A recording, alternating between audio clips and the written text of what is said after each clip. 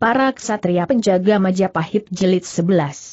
Pagi itu suasana kademangan Randu Agung terlihat begitu lengang dan sepi, sudah beberapa hari itu para penduduknya telah pergi mengungsi ke tempat yang menurut mereka lebih aman, karena tersiar kabar bahwa prajurit Majapahit akan kembali menyerang. Namun sebelum mengungsi, mereka masih sempat memanen hasil padi mereka dan telah membawanya ke tempat pengungsian masing-masing. Empu Nambi dan para pendukungnya telah berada di Puri Pasanggrahan miliki banyak wadi yang telah dirubah menjadi sebuah benteng pertahanan yang amat kuat. Tersiar sebuah berita bahwa pasukan besar prajurit Majapahit hari itu telah bergerak dari Kademangan Japan menuju Bumi Lamajang. Hari ini para prajurit Majapahit telah bergerak meninggalkan Kademangan Japan, berkata Panji Samara kepada Empu Nambi dan beberapa orang pimpinan pasukan pendukungnya ada tiga kesatuan pasukan kerajaan Majapahit. Kesatuan pasukan Jalaran Anggana, pasukan Jalapati dan pasukan Jalayuda.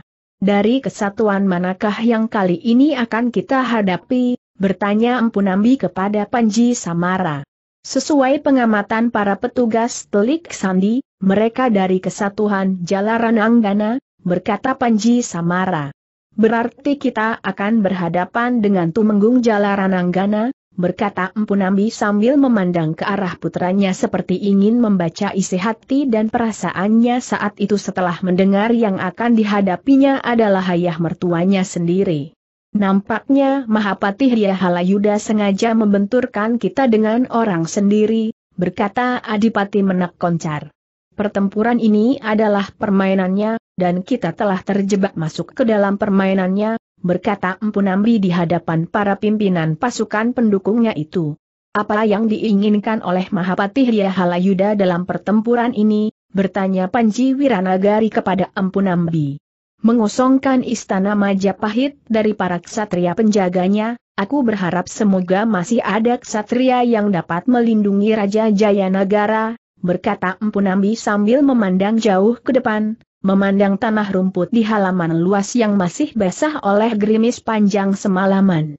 Mendengar penuturan Empu Nambi telah membuat semua orang berpikir dan merenung. Diam-diam di kepala mereka membenarkan pikiran Empu Nambi.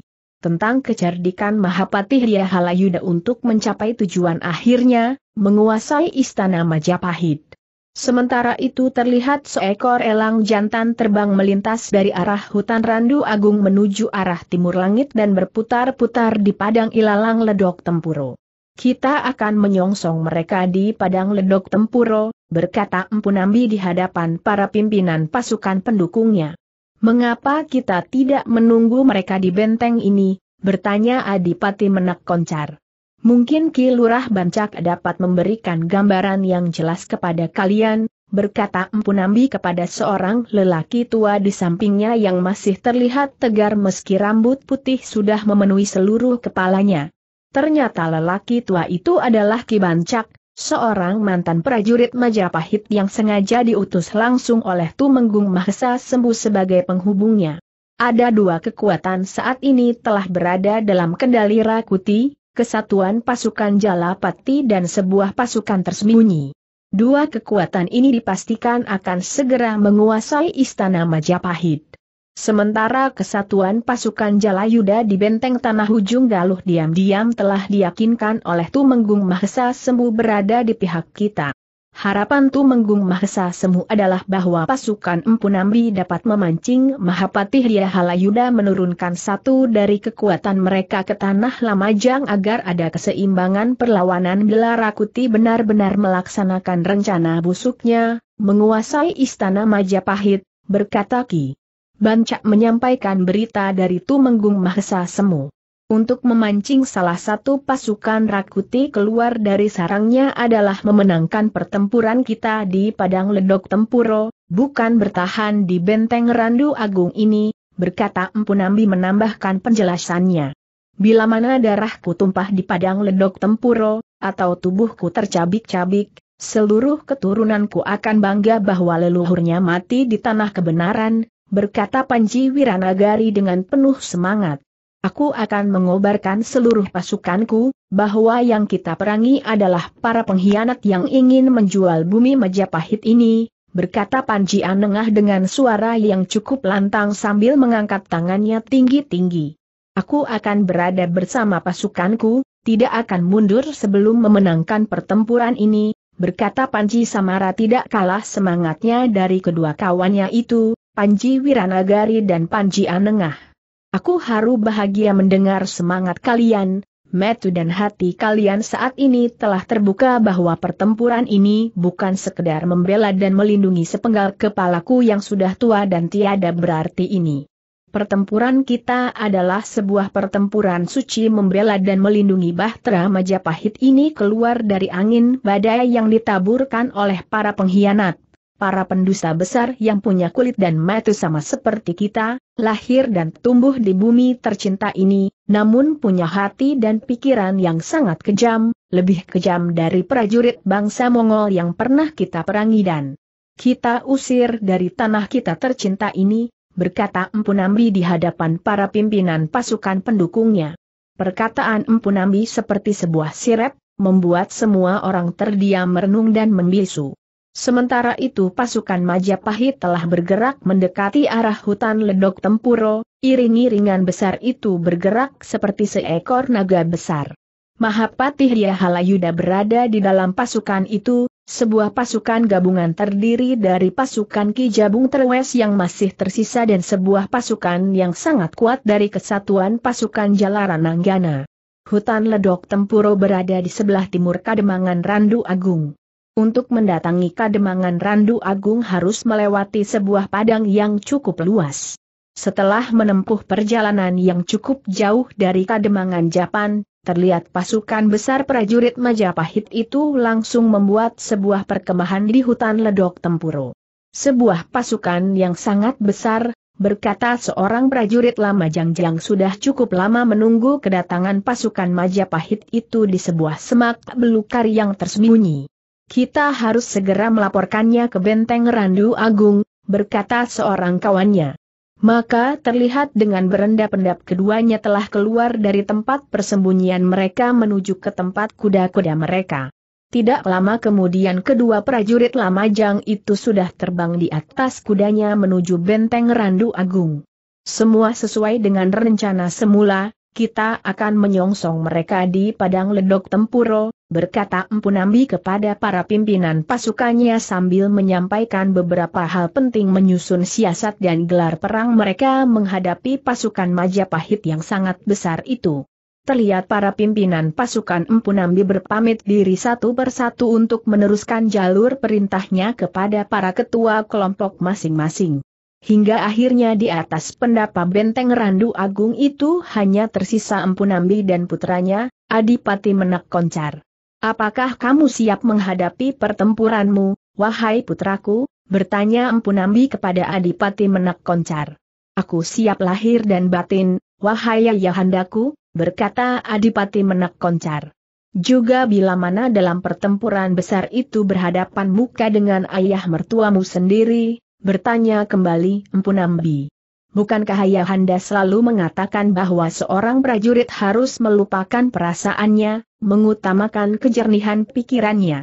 Aku akan berdiri di dalam pertempuranku sebagai seorang prajurit sejati, berdiri sebagai seorang ksatria utama di belakang kebenaran hakiki, kebenaran sebuah cita-cita agung kerajaan Majapahit ini, meski yang kuhadapi adalah ayah mertuaku sendiri, berkata Adipati Menak Koncar. Terlihat Empu Nambi tersenyum memandang wajah putranya dalam-dalam. Dan malam itu hujan turun begitu lebatnya mengguyur bumi Lamajang seperti ditumpahkan dari langit yang retak.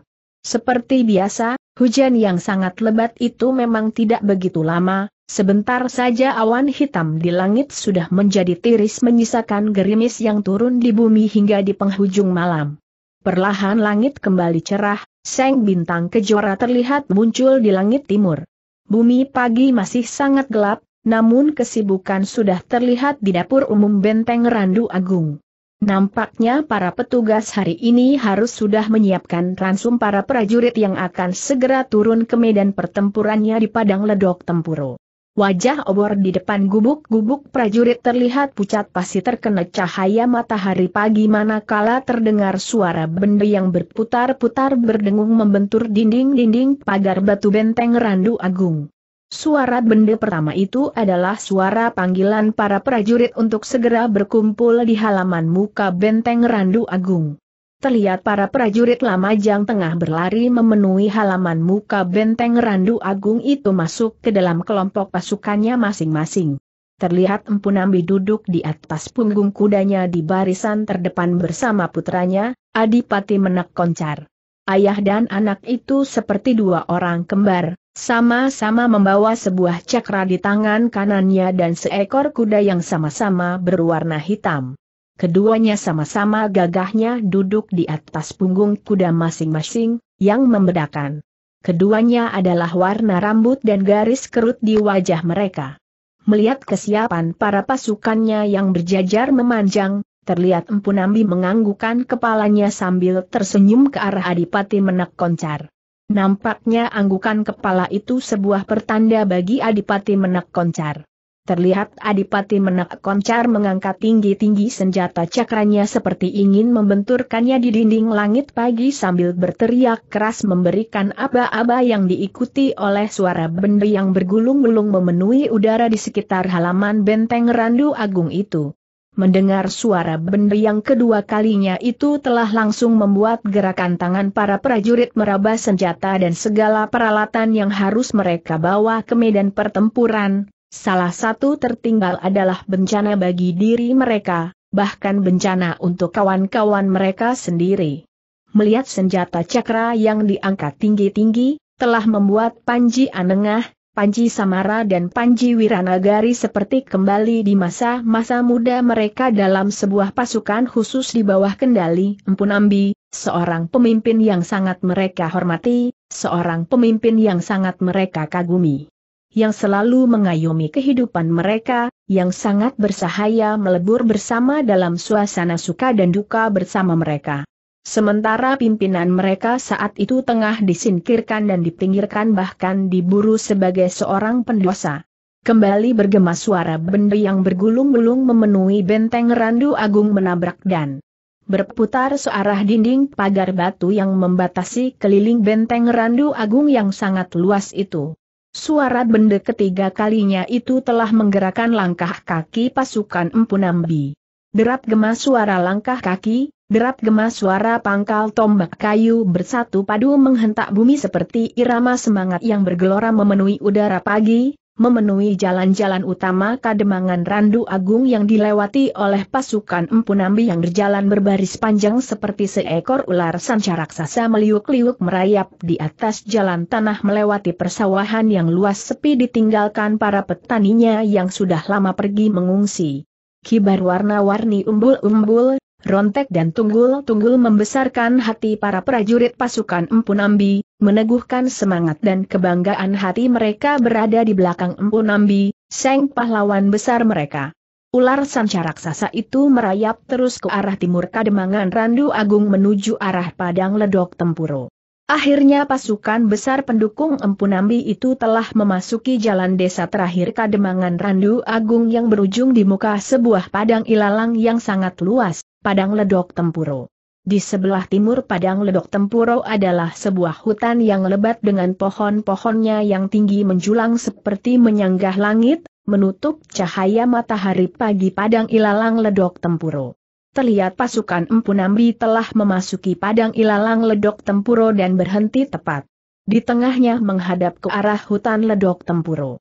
Terdengar suara keras membahana dari Adipati Menak Koncar memberikan sebuah aba-aba perintah yang diikuti oleh para penghubung terus menjalar hingga ke barisan paling ujung, ternyata aba-aba itu adalah sebuah perintah untuk bergerak membentuk sebuah gelar perang. Dalam waktu yang amat singkat barisan pasukan Empu Nambi terlihat bergerak membentuk sebuah gelar perang yang amat sempurna, gelar Garuda Layang. Tegak berdiri dengan pandangan lurus ke depan, pasukan Empu Nambi telah siap menantang musuh-musuh mereka yang akan muncul dari kegelapan hutan ledok tempuro di ujung tepi timur batas padang ilalang yang sangat luas itu. Desir angin pagi bertiup cukup keras mengibarkan umbul-umbul, rontek dan tunggul-tunggul di tangan setiap kelompok pasukan. Warna-warni dan aneka corak lambang umbul-umbul yang mereka bawa sebagai pertanda dari mana mereka berasal, para prajurit pengawal Kadipaten Lamajang, para prajurit Majapahit di bawah pimpinan Panji Anengah, Panji Samara dan Panji Wiranagari dan para cantrik perguruan teratai putih yang tersebar di Jawa Dwipa dan Bali Dwipa. Gabungan pasukan besar itu telah bersatu dan disatukan oleh setangkai daun jarak yang terikat di atas kepala mereka. Dan tidak lama berselang, muncullah sebuah pasukan keluar dari hutan gelap bersama sorak-sorai gemuruh suara penuh semangat. Itulah pasukan Majapahit yang telah keluar dari perkemahan mereka di hutan Ledok Tempuro, muncul. Dalam barisan yang panjang seperti seekor naga raksasa keluar dari mulut hutan. Manakala ujung barisan mereka sudah terlihat, pasukan Majapahit itu langsung membentuk sebuah gelar sempurna, gelar perang yang tanggon, di Rada Meta. Terlihat Empu Nambi tersenyum memandang barisan musuh di hadapannya, sementara para pasukannya telah meraba senjata-senjata mereka, memastikan bahwa senjata itu masih berada dekat mereka. Sementara mereka yang membawa tombak panjang terlihat tidak lagi memanggulnya di atas pundaknya, tapi sudah terangkat dan merunduk siap menghunjam dada-dada musuh mereka. Seorang penghubung di sebelah Empu Nambi terlihat mengibarkan benderanya ke kiri dan ke kanan. Nampaknya seorang pimpinan pasukan tombak telah langsung memahaminya sebagai sebuah perintah untuk kelompoknya bergerak diam-diam duduk berjongkok di belakang barisan terdepan dengan posisi mata, tombak miring meruncing. Kibar bendera pasukan Empu Nambi nampaknya diartikan oleh Mahapati Halayuda bahwa pasukan musuh telah siap bergerak, maka Senapati Agung pasukan Majapahit itu langsung mengangkat tangannya tinggi-tinggi sambil berteriak keras mengguntur. Hancurkan pasukan pemberontak itu, berteriak Mahapati Halayuda memberi perintah. Terdengar suara gemuruh prajurit Majapahit menyambut perintah Senapati Agung mereka. Dan padang ledok tempuro seperti tergoncang manakala pasukan segelar sepapan itu telah bergerak berlari dan memburu pasukan musuh di hadapannya itu. Terlihat pasukan berkuda prajurit Majapahit di barisan terdepan seperti membelah padang ilalang meninggalkan pasukan lainnya yang tengah berlari kencang dengan senjata terhunus telanjang ingin segera melulu lantakan dada musuh-musuh mereka. Layaknya seekor gajah raksasa mengamuk, begitulah pasukan besar Majapahit itu bergerak menerjang pasukan musuh di depan mereka. Apakah mereka bermaksud untuk bunuh diri bersama? Berkata dia Halayuda dalam hati di atas kudanya yang tengah berlari melihat pasukan musuh diam tidak bergerak menyongsong terjangan mereka. Dia Halayuda masih juga belum dapat menebak apa yang akan dilakukan oleh pasukan Empu Nambi itu yang tidak bergerak sedikit pun menghadapi pasukannya yang sudah menjadi semakin dekat itu, Apakah mereka gentar dan menggigil takut melihat pasukanku? Berkata kembali dia Halayuda dalam hati penuh kebanggaan hati membayangkan pasukan besarnya sebentar lagi akan meluluh lantakan pasukan Empu Nambi itu. Gila, gila, gila, mengumpat habis-habisan Ki Jabung Terwes yang berada di pasukan berkuda. Sebagaimana Ki Jabung Terwes, hampir semua pasukan berkuda Majapahit itu terkejut tidak mampu lagi menahan laju kuda mereka. Nampaknya siapa pun akan terkejut bukan kepalang, apalagi masih berada di atas punggung kudanya yang tengah berlari kencang, karena di barisan terdepan pasukan Empu Nambi tiba-tiba saja telah bergeser seperti gerbang pintu kayu terbuka melebar ke kiri dan ke kanan. Bukan main terkejutnya pasukan berkuda itu yang telah terperangkap tonggak-tonggak hidup dari ratusan tombak yang sebelumnya berada terhalang barisan yang bergerak membuka itu. Terlihat puluhan kuda tertusuk leher dan perutnya melemparkan penunggangnya jatuh ke tanah berguling-guling dengan badan dan tulang terasa remuk, bahkan beberapa orang langsung tidak bergerak lagi karena sebuah batu besar menghantam kepala mereka ketika terjatuh. Terdengar sorak-sorai para pasukan Empu Nambi menyambut penuh kegembiraan hati melihat perangkap mereka berhasil gemilang memperdayai musuh mereka. Sementara itu barisan terdepan pasukan Empu Nambi yang bergeser ke kiri dan ke kanan membuka pasukan tombak itu adalah bagian sayap pasukan dalam gelar Garuda Layang yang langsung bergerak menusuk lambung pasukan induk lawan dari sebelah kanan dan kirinya. Porak-poranda kekuatan pasukan Majapahit yang berada di lambung pasukan induk itu dihantam sayap pasukan Empu Nambi. Gemeretak gigi dia Halayuda menahan rasa amarah yang luap-luap melihat korban di pihaknya dalam gebrakan pertama itu dan langsung telah memerintahkan pasukannya mundur beberapa langkah membantu pasukan di lambung mereka yang terkoyak-koyak itu. Layaknya seekor gajah besar yang terguncang, perlahan telah dapat berdiri kembali tegak di empat kakinya. Pasukan Majapahit yang mundur teratur itu akhirnya telah kembali dalam gelarnya mengimbangi. Gerak gelar musuh mereka yang keras laksana seekor Garuda raksasa menukik lincah mencakar dan mematuk mangsanya dari berbagai arah dan kokoh bergerak dalam kesatuan perintah senapati mereka, Empu Nambi. Selamat datang Mahapati baru Majapahit, maafkan bila sambutan kami tidak sesuai yang diharapkan, berkata Empu Nambi di atas punggung kudanya menghadang kuda Mahapati Halayuda. Jangan merasa gembira dengan perangkap pasukan tombakmu, peperangan ini masih panjang, berkata Mahapati Halayuda memandang tajam Empu Nambi seperti tengah mengukur tingkat kemampuan mantan pejabat tinggi istana yang telah berhasil digantikan kedudukannya. Peperangan ini memang masih panjang, kulihat pasukanmu sudah berdiri kembali di keempat kakinya, berkata Empu Nambi sambil tersenyum membalas tatapan mata dia Halayuda yang menusuk itu. Menang atau kalah tidak kupikirkan dalam peperangan ini, yang kupikirkan bagaimana dapat membunuhmu, berkata dia Halayuda sambil menghentakkan kudanya maju ke depan mendekati Empu Nambi. Dua trisula di tangan dia Halayuda terlihat menusuk kedua tempat sasaran yang berbeda, tubuh Empu Nambi dan perut kudanya.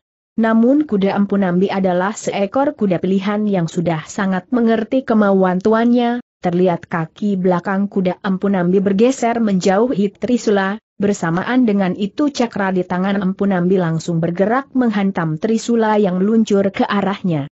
Terang. Hampir saja dia Halayuda melepaskan Trisulanya, merasakan telapak tangannya seperti tersengat panas yang menyengat. Hem, hanya suara dengusan itu saja yang terdengar dari bibir Empu Nambi yang dalam benturan pertama itu sudah dapat mengukur tingkat kemampuan lawannya itu. Sementara itu dia Halayuda terkejut bukan kepalang merasakan tataran tenaga sakti sejati lawannya sudah begitu sangat tinggi melampau kemampuannya. Itulah sebabnya dalam serangan-serangan berikutnya, dia Halayuda selalu menghindari benturan. Cara bertempur dia Halayuda ini ternyata diketahui oleh Pampunambi, terlihat cakra di tangan Empunambi menjadi lebih leluasa bergerak mengejar ke mana pun tubuh dia Halayuda bergerak. Bertempur di atas kuda nampaknya kurang menguntungkan bagi dia Halayuda yang langsung terbang melesat seperti seekor elang mencengkeram dengan kedua cakar kakinya yang amat tajam. Terang, terang. Bersamaan dengan loncatan dia Halayuda yang meninggalkan kudanya, terlihat Empu Nambi ikut meloncat meninggalkan kudanya seperti terbang menghadang dan menangkis kilatan Trisula di tangan dia Halayuda. Luar biasa akibat dari benturan senjata Trisula dan Cakra itu, terlihat tubuh dia Halayuda terlempar empat langkah ke belakang dengan merasakan kedua tangannya terasa sangat perih. Hem, hanya itu suara yang keluar dari bibir Ampunambi yang tegak berdiri tersenyum menatap lawannya yang tengah memperbaiki dirinya untuk tegak berdiri setelah limbung beberapa saat. Namun dia Halayuda memang seorang yang amat licik, tahu bahwa seorang diri tidak akan mampu menandingi Ampunambi, telah memanggil lembu peteng dan ikal-ikalan bang. Hem, hanya itu suara yang terdengar keluar dari bibir Ampunambi menghadapi tiga orang penyerangnya itu. Sambil menghadapi ketiga penyerangnya, Empu Nambi masih sempat mengamati seluruh sisi pertempuran. Melihat kemapanan pasukan di sayap kanannya yang dipercayakan kepada putranya, Adipati Menak Koncar. Sekilas Empu Nambi dapat menilai pasukan sayap kanannya itu telah dapat menekan kekuatan musuh mereka. Sebagaimana yang dilihat oleh Empu Nambi, ternyata pasukan sayap kanan yang dipimpin oleh Adipati Menak Koncar mampu menekan kekuatan lawan mereka yang dipimpin oleh seorang senapati pengapit dalam gelar di Rada Meta yang bernama Ki Jabung Terwes. Ki Jabung Terwes bersama pasukannya yang pernah dipukul mundur oleh para prajurit Lamajang beberapa waktu yang telah lewat itu memang bermaksud membalas dendam atas kematian anak buahnya dalam pertempuran sebelumnya itu, dan sangat kebetulan sekali yang dihadapinya dalam pertempuran kali ini sebagian besarnya adalah para prajurit dari Lamajang. Namun yang dihadapi oleh Ki Jabung Terwes adalah Adipati Menak Koncar yang punya banyak pengalaman bertempur, seorang pemimpin pasukan yang hebat mengendalikan sebuah pasukan besar. Beberapa kali Ki Jabung terwes seperti hilang akalnya menghadapi berbagai jebakan dan perangkap pasukan yang berada di dalam kendali Adipati Menak Koncar ini yang kadang menyusut melengkung membentuk jurang menganga, begitu pasukan musuh masuk tiba-tiba saja pasukan Adipati Menak Koncar seperti air bah gelombang besar menghantam dan menjepit pasukannya. Dan korban pun berjatuhan tidak sedikit di pihak pasukan Ki Jabung terwes itu. Sambil bertempur menghadapi tiga orang penyerangnya, terlihat Empu Nambi tersenyum penuh kebanggaan hati bahwa putranya dengan sangat cerdasnya mengendalikan pasukannya, mengatur seluruh kekuatan pasukannya. Sementara itu di sayap kiri pertempuran, Empu Nambi sempat mengamati suasana pertempuran di sana. Telah melihat bahwa Panji Wiranagari yang dipercayakan memimpin pasukan sayap kirinya itu mampu mengimbangi pasukan lawan. Syukurlah, mereka tidak bertemu muka dalam pertempuran ini, berkata Empu Nambi dalam hati menarik nafas lega manakala melihat seorang senapati musuh yang menghadapi sayap kirinya adalah besannya sendiri, Tumenggung Jalaran Nanggana. Perlahan tapi pasti, gelar Garuda Layang pasukan Empu Nambi dapat mendesak gelar perang di Rada Meta yang sangat kuat itu, terutama berkat tekanan yang kuat di sayap kanan pasukan Adipati Menak Koncar yang memaksa dia Halayuda memerintahkan beberapa orang prajuritnya yang berada di pasukan induknya. Bergeser membantu pasukan Ki Jabung Terwes yang tertekan itu. Akibatnya pasukan Empu Nambi di bagian paruh dan kepala gelar perangnya dapat memukul pasukan Majapahit yang menyusut itu telah dapat mendesak mundur pasukan Majapahit hingga empat tumbak dari garis awal pertempuran. Sedari awal aku memang belum yakin kemampuan orang sombong itu ditempatkan sebagai senapati pengapit di gelar perang ini, berkata dalam hati Tumenggung Jalarananggana penuh rasa khawatir. Sementara itu matahari di atas padang ledok tempuro telah bergeser turun ke arah barat Cakrawala, Dentang senjata beradu dan suara gemuruh peperangan begitu riuh memenuhi padang ledok tempuro. Sorak dan sorai suara prajurit masih silih berganti dari kedua pasukan manakala kemenangan berpihak di antara mereka. Hanya saja sorak dan sorai pasukan Empu Nambi lebih banyak terdengar dibandingkan pasukan Majapahit yang dipimpin langsung oleh dia Halayuda. Suara riuh dan gemuruh peperangan itu masih terdengar dari ujung tepi hutan di ujung timur padang ledok tempura. Namun akan menjadi semakin senyap hilang dari pendengaran manakala telah masuk lebih jauh lagi ke tengah jantung hutan itu, ke tempat perkemahan besar pasukan Majapahit yang saat itu hanya dijaga oleh sekitar 100 orang prajurit, termasuk di dalamnya para juru masak yang bertugas menyiapkan ransum untuk para prajurit. Terlihat beberapa prajurit tengah sibuk menyiapkan masakan di depan gubuk mereka, sementara beberapa orang prajurit di beberapa tempat tengah berjaga. Memastikan perkemahan mereka dalam keadaan aman tanpa gangguan apa pun. Namun para prajurit Majapahit, di perkemahan itu tidak menyadari sama sekali bahwa ribuan meter sudah sejak lama mengintai di sekitar mereka. Entah dari mana arah datangnya, terlihat seorang lelaki berjalan mendekati tiga orang prajurit yang tengah menyiapkan rusa panggang tidak jauh dari gubuk mereka.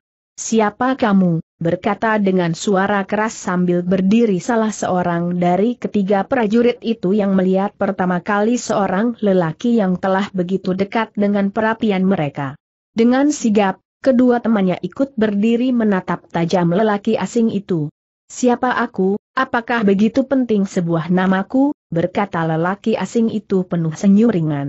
Terlarang bagi orang asing memasuki perkemahan kami, jangan-jangan kamu adalah pihak musuh yang sengaja datang mengganggu, berkata salah seorang kawan prajurit yang pertama kali berdiri.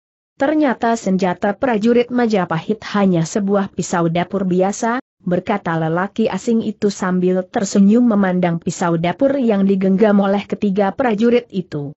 Kami baru saja menyayat daging rusa, Sebut siapa kamu sebelum pisau ini akan menyayat tubuhmu, berkata salah seorang dari ketiganya. Pasang telinga kalian, sebagai seorang prajurit Majapahit pasti kalian pernah mendengar nama Rangga Pamandana, seorang mantan prajurit Majapahit, dari Kesatuan Pasukan Jala Yuda, berkata lelaki asing itu yang ternyata adalah Rangga Pamandana, salah seorang perwira prajurit Majapahit yang telah membelot berada di belakang pasukan Empu Nambi. Sebagai seorang prajurit Majapahit, nampaknya mereka bertiga memang pernah mendengar nama Rangga Pamandana. Seketika itu juga wajah ketiganya langsung berubah menjadi pucat pasi. Rangga Pamandana tersenyum melihat perubahan wajah ketiga prajurit itu. Namun ketiga prajurit itu mulai sadar akan tugas dan kewajibannya sebagai seorang prajurit yang harus menjaga dan mengamankan perkemahan mereka. Apa yang Chuan inginkan di perkemahan kami? Bertanya salah seorang prajurit itu yang sudah dapat mengendapkan perasaan jerihnya kepada Rangga Pamandana itu. Aku ingin merampok gudang persediaan kalian, berkata Rangga Pamandana dengan suara datar tanpa tekanan mengancam. Mendengar perkataan Rangga Pamandana, ketiganya saling berpandangan satu dengan yang lainnya. Kami bertiga mungkin bukan tandingan tuan, namun kami dapat memanggil kawan-kawan kami yang lainnya, berkata salah seorang prajurit kepada Rangga Pamandana. Cepat kamu panggil mereka, aku tidak akan lari selangkah pun dari tempatku berdiri, berkata Rangga Pamandana. Mendengar perkataan Rangga Pamandana, langsung Seketika salah seorang prajurit langsung berlari ke sebuah gubuk dan langsung membunyikan kentongan yang ada di depan gubuk itu. Maka terdengarlah suara kentongan bernada panjang berputar-putar memenuhi seluruh perkemahan dari ujung satu ke ujung lainnya. Dan dalam waktu yang singkat seratus orang prajurit Majapahit sudah berkumpul di hadapan Rangga Pamandana.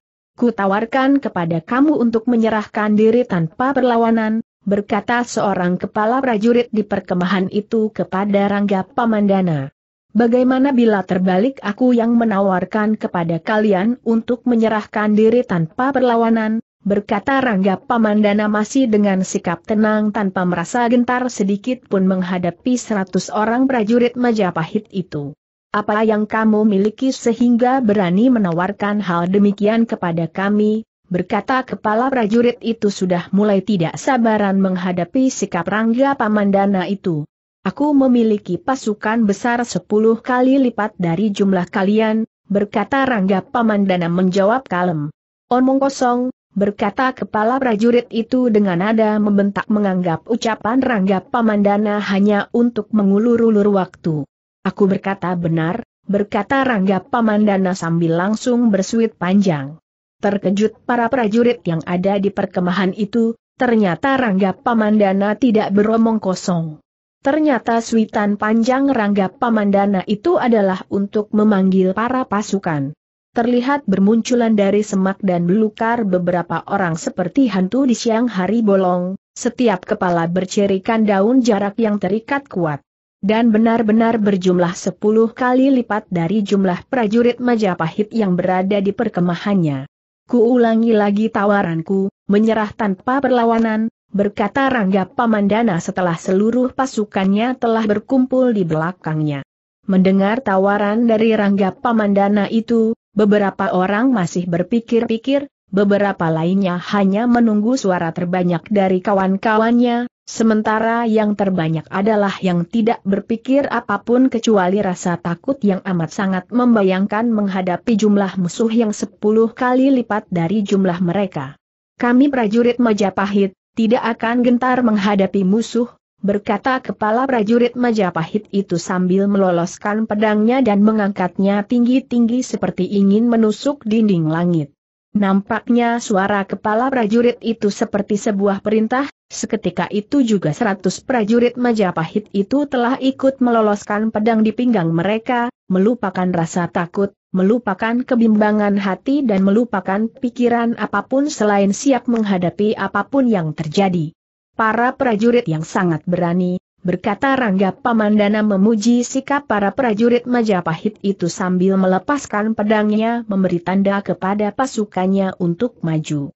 Maka pertempuran memang tidak dapat dihindari. Lagi, seratus orang prajurit Majapahit memang telah menunjukkan keberaniannya. Denting suara pedang saling beradu, caci maki dan bentakan kasar adalah suara peperangan di arena perkemahan itu. Namun apalah artinya seratus orang prajurit menghadapi seribu orang pasukan Rangga Pamandana? Apalah artinya seratus prajurit Majapahit kelas 2 dalam lingkungan keprajuritan, para juru masak dan para prajurit penjaga biasa? Sementara pasukan Rangga Pamandana itu adalah para prajurit pilihan, sebagian dari para prajurit dari Belambangan yang sengaja belum diterjunkan oleh Empu Nambi dalam pertempuran di hari pertamanya itu.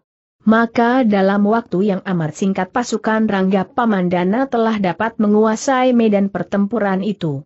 Jumlah prajurit Majapahit terlihat semakin menyusut tajam, korban di pihak prajurit Majapahit seperti daun di musim kemarau panjang, telah terlihat berguguran, mati atau terluka parah di ujung pedang pasukan Rangga Pamandana yang terengginas itu, yang punya banyak pengalaman bertempur para prajurit terbaik dari tanah Belambangan yang sangat terkenal itu.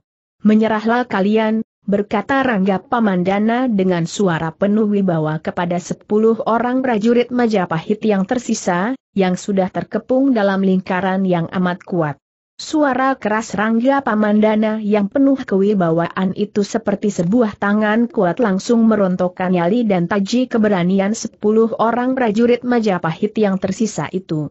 Seorang prajurit Majapahit dengan wajah yang sudah penuh rasa putus. Asa terlihat telah langsung melemparkan senjatanya. Nampaknya lemparan senjata tanda penyerahan diri salah seorang dari prajurit Majapahit itu seperti sirep yang amat kuat, kesembilan orang prajurit Majapahit langsung mengikutinya, melemparkan senjatanya jauh-jauh dari jangkauan dirinya sendiri. Ikat mereka semua, dan kosongkan gudang persediaan mereka, berkata Rangga Pamandana memerintahkan pasukannya. Maka dalam waktu yang amat singkat itu, terlihat pasukan Rangga Pamandana itu telah membawa persediaan pangan yang ada di gudang perkemahan pasukan Majapahit itu. Kedatangan dan kepergian pasukan Rangga Pamandana itu benar-benar seperti hantu di siang hari bolong, mereka sudah hilang menyelinap di kerepatan hutan ledok tempuro yang amat lebat itu, seperti hilang tertelan bumi. Sementara itu pertempuran di padang ledok tempuro masih terus berlangsung dengan amat serunya.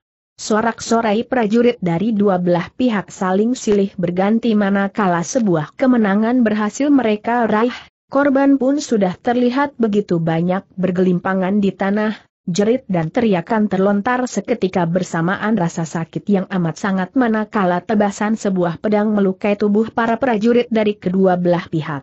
Dan dari sorak-sorai yang pernah terdengar, sorak-sorai kali ini terdengar begitu liuh, begitu sangat bergemuruh dari sebelumnya. Terdengar dari pasukan yang bertempur di sayap kiri berasal dari suara pasukan yang dipimpin langsung oleh Adipati Menak Koncar. Ternyata suara riuh itu terdengar manakala terlihat cakra di tangan Adipati Menak Koncar membentur dada Ki Jabung Terwes yang langsung terlempar dan berguling-guling di atas tanah dan diam tak bergerak lagi. Sebenarnya Ki Jabung Terwes belum mati, hanya terluka parah. Namun suara pasukan di pihak Empu Nambi telah berteriak penuh kegembiraan bahwa Ki Jabung Terwes telah terbunuh. Senapati musuh terbunuh, senapati musuh terbunuh. Koma berteriak para pasukan di sayap kiri pimpinan Adipati Menak Koncar itu bergemuruh terdengar oleh semua orang yang tengah bertempur di padang ledok tempuro itu. Suara riuh kemenangan itu terdengar juga di telinga Mahapati Halayuda yang tengah bertempur menghadapi Empu Nambi. Lembu Peteng, pimpinanku serahkan kepadamu menggantikan Ki Jabung Terwes, berkata dia Halayuda kepada lembu peteng yang tengah membantunya menghadapi Empu Nambi. Terlihat lembu terwes langsung meloncat bergeser ke arah sayap kiri gelar mereka. Menghadapi dua orang penyerangnya membuat Empu Nambi dapat merasa lebih ringan dan leluasa mengamati seluruh keadaan medan pertempuran, memberikan perintah-perintahnya lewat jalur penghubungnya. Empu Nambi dapat melihat keadaan pertempuran di sayap kanannya, ternyata kepemimpinan lembu peteng tidak dapat merubah keadaan, bahkan membuat lebih parah lagi keadaan di mana para prajurit Lamajang di bawah kepemimpinan Adipati Menak Koncar telah semakin menusuk ke arah lambung pasukan induk mereka. Berdebar perasaan hati dia Halayuda, membayangkan lambung gelar di rada mata sampai robek tidak mampu menahan tekanan sayap kanan pasukan Empu Nambi itu. Terlihat Empu Nambi tersenyum di kulum manakala mendengar perintah dia Halayuda untuk memperkuat sayap kiri mereka. Sementara itu Empu Nambi masih melihat keseimbangan pertempuran di sayap kirinya, nampaknya Tumenggung Jalarananggana mampu mengimbangi kekuatan pasukan yang berada di bawah pimpinan Panji Wiranagari dan Panji Anengah. Mereka nampaknya berasal dari induk jalur tata gelar yang sama, jadi seperti dapat saling membaca setiap gerak lawan, karena mereka sama-sama para prajurit Majapahit yang berada di pihak yang berseberangan. Sayang hawa murniku sudah terkuras hampir setengahnya oleh Gajah Mada, berkata dalam hati dia Halayuda ketika menghindari setiap benturan senjata Empu Nambi, hanya mengandalkan kecepatan dan kegesitannya bergerak. Namun tiba-tiba saja suara sorak dan sorai kembali terdengar di ujung kiri sayap pasukannya yang dipimpin oleh lembu peteng. Berdebar perasaan hati dia Halayuda manakala mendapat berita dari penghubungnya bahwa lembu peteng gugur terhantam cakra adipati menak koncar di kepalanya. Orang-orang bodoh, berkata dia Halayuda kepada seorang penghubungnya. Masih ada seorang kawanmu ini menggantikan orangmu yang gugur itu, sehingga kita bisa lebih leluasa berhadapan satu lawan satu, berkata Empu Nambi dengan senyum menggoda. Kurobek mulutmu, berteriak dia halayuda penuh kemarahan sambil menerjang Empu Nambi seperti badai gelombang yang bergulung-gulung. Terang. Cakra Empu Nambi seperti tameng yang amat kuat menahan serangan yang amat dahsyat itu. Maka akibatnya berpulang kepada dia Halayuda yang langsung mundur dua langkah dari tempatnya berdiri sambil merasakan kedua tangannya bergetar pedih. Lambung pasukanmu sebentar lagi akan robek, berkata Empu Nambi mengingatkan musuhnya. Persetan dengan pasukanku, yang kuinginkan hari ini adalah membunuhmu, berkata dia Halayuda sambil memerintahkan sepuluh orang prajuritnya membantu dirinya mengepung Empu Nambi seorang diri. Namun Empu Nambi berada bersama orang-orang yang setia kepadanya, tidak akan rela melihat Empu Nambi seorang diri menghadapi kecurangan itu. Terlihat beberapa orang setianya telah turun bersama menghadapi setiap musuh yang datang membantu dia Halayuda. Termasuk mengambil alih menghadapi ikal-ikalan bang. Akibatnya, dia Halayuda hanya seorang diri menghadapi Empu Nambi. Beruntung bahwa hati dan pikiran Empu Nambi setengahnya berada di medan pertempuran, mengendalikan seluruh pasukannya lewat jalur para penghubungnya. Terlihat Empu Nambi dengan ringannya keluar dari serangan lawannya, hanya beberapa kali membuat tekanan-tekanan menembus pertahanan lawannya. Namun setengah hati perlawanan Empu Nambi telah menguras habis tenaga dia Halayuda melihat bahwa dirinya tidak akan mampu seorang diri menghadapi Nambi, tiba-tiba saja dia halayuda melompat jauh dan menyelinap di antara keriuhan suasana peperangan. Manusia licik, berkata Nambi yang telah kehilangan jejak dia halayuda.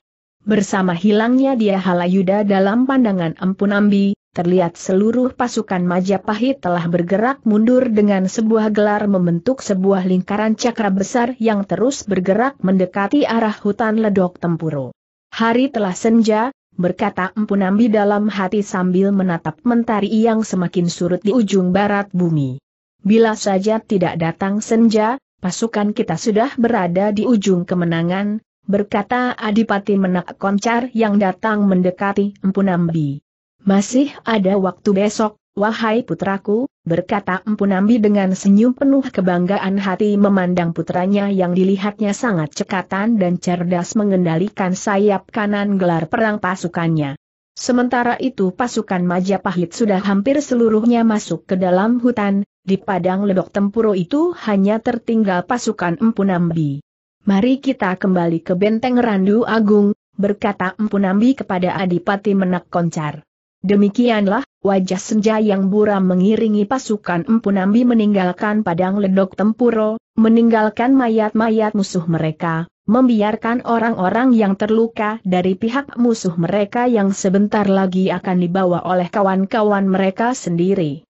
Wajah bumi di ujung senja perlahan semakin redup, iring-iringan pasukan Empu Nambi telah memasuki jalan utama Kademangan Randu Agung, tanpa suara, tanpa derap langkah kaki yang keras menghentak bumi.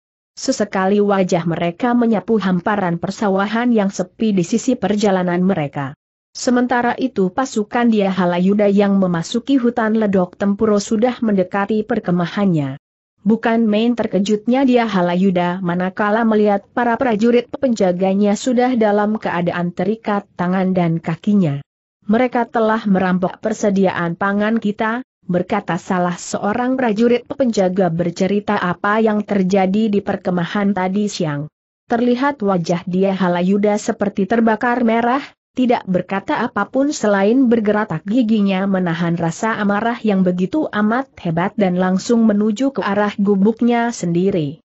Akhirnya dengan sangat terpaksa beberapa orang prajurit Majapahit itu harus nganglang di malam hari berburu di hutan untuk mempersiapkan ransum para prajurit malam itu dan keesokan harinya.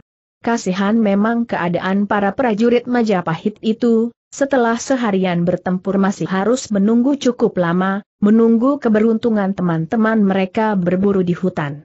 Bukan kisan dikala bila tidak cerdik, berkata Tumenggung Jalarananggana dalam hati sambil berbaring di gubuknya memuji kecerdikan Empu Nambi yang sudah lama dikenalnya itu dalam masa-masa perjuangan menghadapi para prajurit Raja Jayakatuang.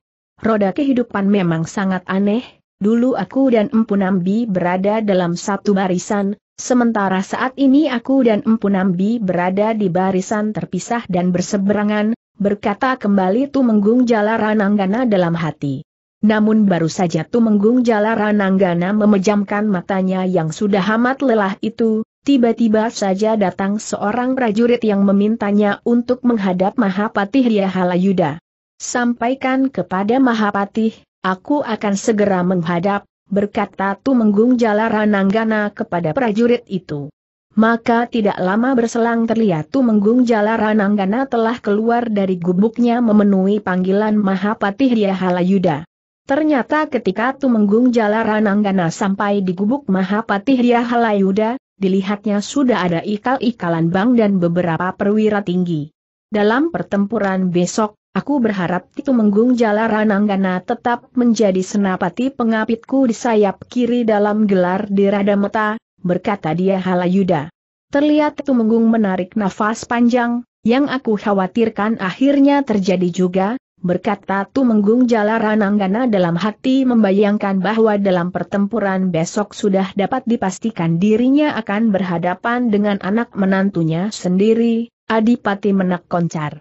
Apa yang harus kukatakan kepada kedua putra mereka bila pedangku ternoda darah ayahnya, berkata kembali Tumenggung Jalarananggana membayangkan pertempuran yang akan dilaluinya itu.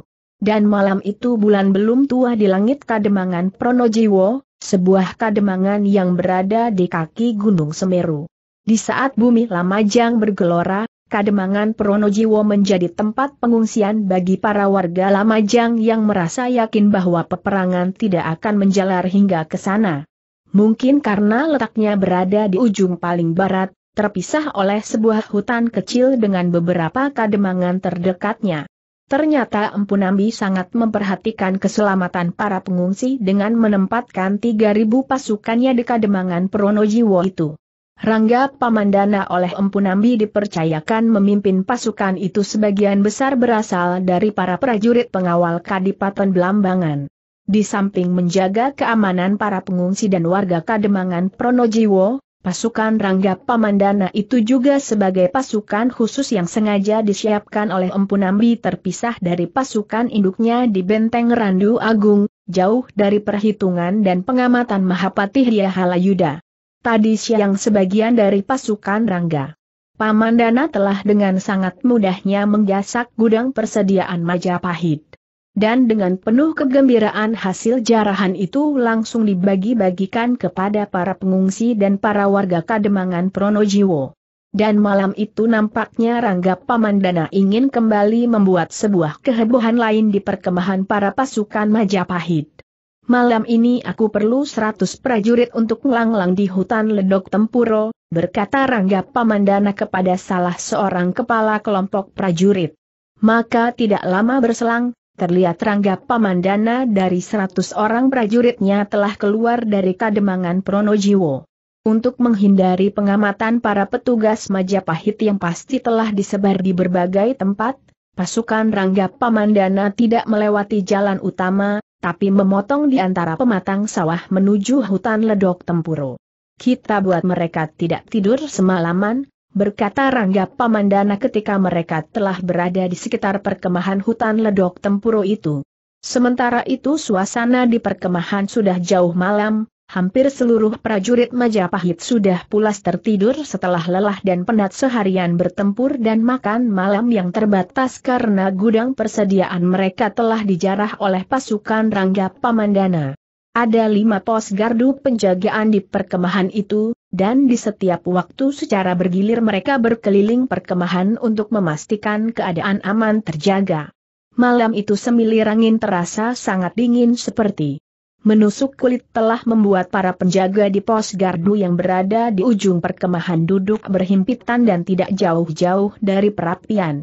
Namun salah seorang dari para penjaga itu telah melihat di kegelapan malam seseorang tengah menyalakan sebuah perapian. Mungkin seorang prajurit yang masih kelaparan, berburu sendiri unggas di hutan, berkata salah seorang penjaga kepada kawannya. Mari kita dekati, siapa tahu ada unggas lebih, berkata kawan penjaga itu.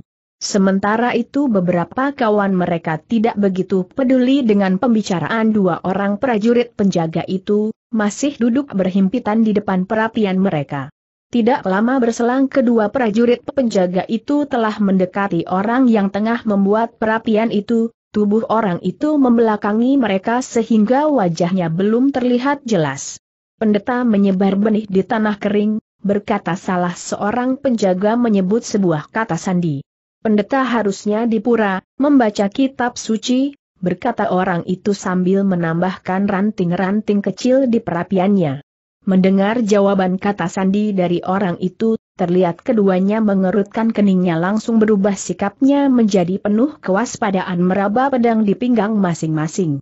Berdiri dan berbalik badan agar kami dapat melihat wajahmu, berkata salah seorang dari penjaga itu kepada seorang lelaki di dekat mereka itu. Maka terlihat lelaki itu berdiri sambil menepak-nepak telapak tangannya yang kotor dan membalikan badannya. Terbelalak mata kedua penjaga itu menatap wajah lelaki yang terlihat tersenyum memandang mereka berdua. Rangga Pamandana, bersamaan keduanya menyebut sebuah nama.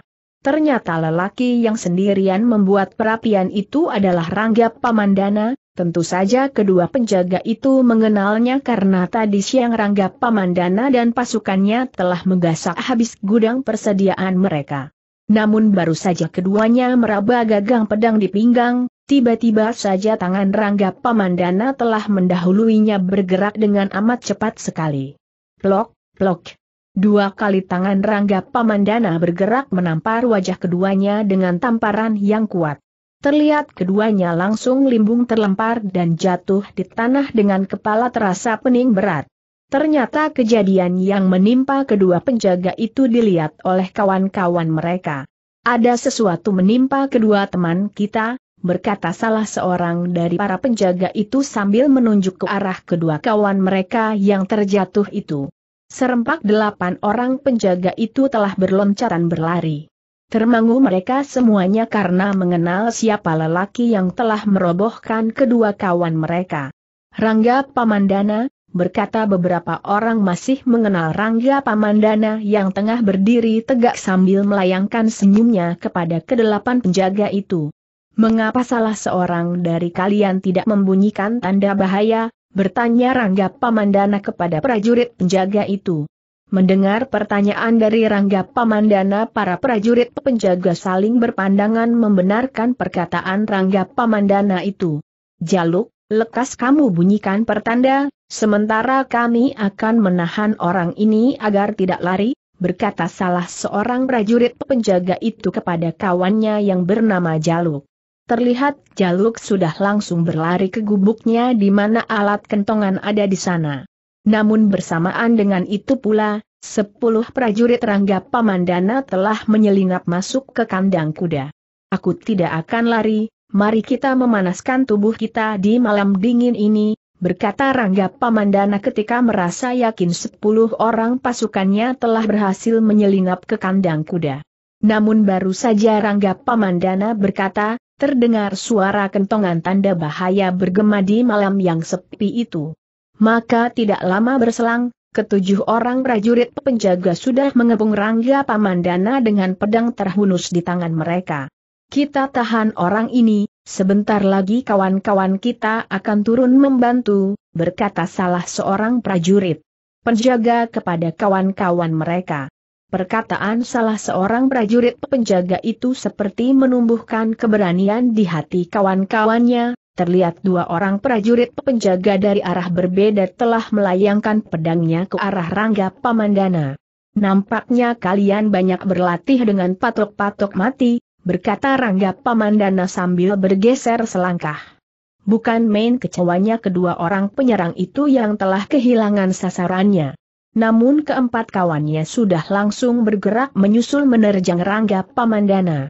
Demikianlah susul menyusul serangan dihadapi oleh Rangga Pamandana, namun tidak satu pun serangan yang dapat menciderainya. Rangga Pamandana dapat bergerak dengan cepatnya seperti tengah bermain-main dengan bahaya, seperti tengah menunggu sesuatu.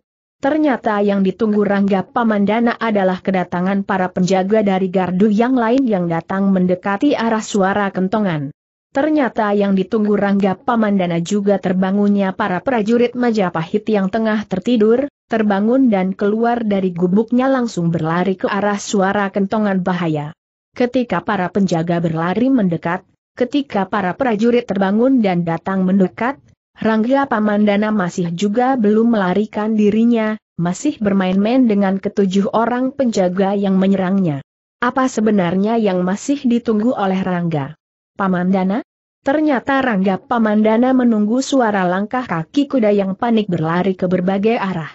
Luar biasa kehebohan terjadi di perkemahan pasukan Majapahit, manakala para penjaga di beberapa pos ronde datang mendekat, manakala beberapa prajurit terbangun, dan di saat semua orang datang mendekati Rangga Pamandana untuk membantu meringkusnya, terdengarlah suara derap langkah kaki kuda tanpa penunggangnya, Kuda-kuda itu dibuat menjadi panik oleh pasukan Rangga Pamandana yang telah menyelinap ke kandang kuda, membuka lebar-lebar kandang kuda. Semua mata tertuju ke arah kuda-kuda yang berlari tanpa arah, ratusan kuda berlari bersama ke segala arah penjuru bahkan ada yang berlari berlawanan arah dengan beberapa prajurit yang baru datang. Suasana perkemahan yang semula sepi berubah menjadi suara riuh yang ramai, suara derap, suara ringkik kuda dan suara orang berteriak. Kejar dan tangkap kuda-kuda itu, berteriak beberapa orang tengah mengejar kuda-kuda mereka. Itulah kehebohan yang tengah ditunggu oleh Rangga Pamandana, sesaat tiada ada prajurit Majapahit yang memperhatikannya, sesaat itu dipergunakan Rangga Pamandana untuk melarikan dirinya menghilang di kegelapan hutan. Ternyata Rangga Pamandana tidak pergi jauh-jauh dari perkemahan itu, masih bersembunyi di dalam kegelapan hutan ledok tempuro. Apakah masih ada kehebohan lain yang ditunggu oleh Rangga Pamandana? Ternyata ketika para penjaga meninggalkan pos gardu penjagaan mereka, manakala beberapa prajurit terbangun mendengar suara kentongan bahaya dan langsung keluar meninggalkan gubuk-gubuk mereka, Maka di saat itulah beberapa pasukan Rangga Pamandana telah mendekati gubuk-gubuk kosong yang telah ditinggalkan oleh penghuninya. Dari tempat kejauhan, Rangga Pamandana melihat api mulai menjalar membakar beberapa buah gubuk di perkemahan pasukan Majapahit. Laksana sebuah perapian besar di malam gelap yang dingin, Lidah kobaran api begitu cepat membakar batang kayu gubuk bahkan telah merambat menjilat gerumbul dan semak-semak hutan di sekelilingnya. Rangga Pamandana tersenyum melihat para prajurit Majapahit bahu-membahu memadamkan api agar tidak merambat ke gubuk lainnya. Apakah ada orang kita yang tertinggal? Bertanya Rangga Pamandana kepada beberapa orang prajuritnya, memastikan bahwa jumlah mereka lengkap tidak satupun yang berkurang. Akhirnya setelah merasa yakin tidak ada seorang pun yang tertinggal, Rangga Pamandana mengajak pasukannya kembali ke Kademangan Pronojiwo. Beberapa prajurit merasa bangga atas kepedulian Rangga Pamandana itu, merasa dinaungi dan dilindungi oleh pimpinan mereka sendiri. Mari kita kembali ke Kademangan Pronojiwo, berkata Rangga Pamandana kepada para prajuritnya. Sebagaimana mereka berangkat, Ketika kembali menuju arah Kademangan Pronojiwo mereka tidak melewati jalan utama, tapi menyusuri persawahan yang kering ditumbuhi banyak semak dan rerumputan.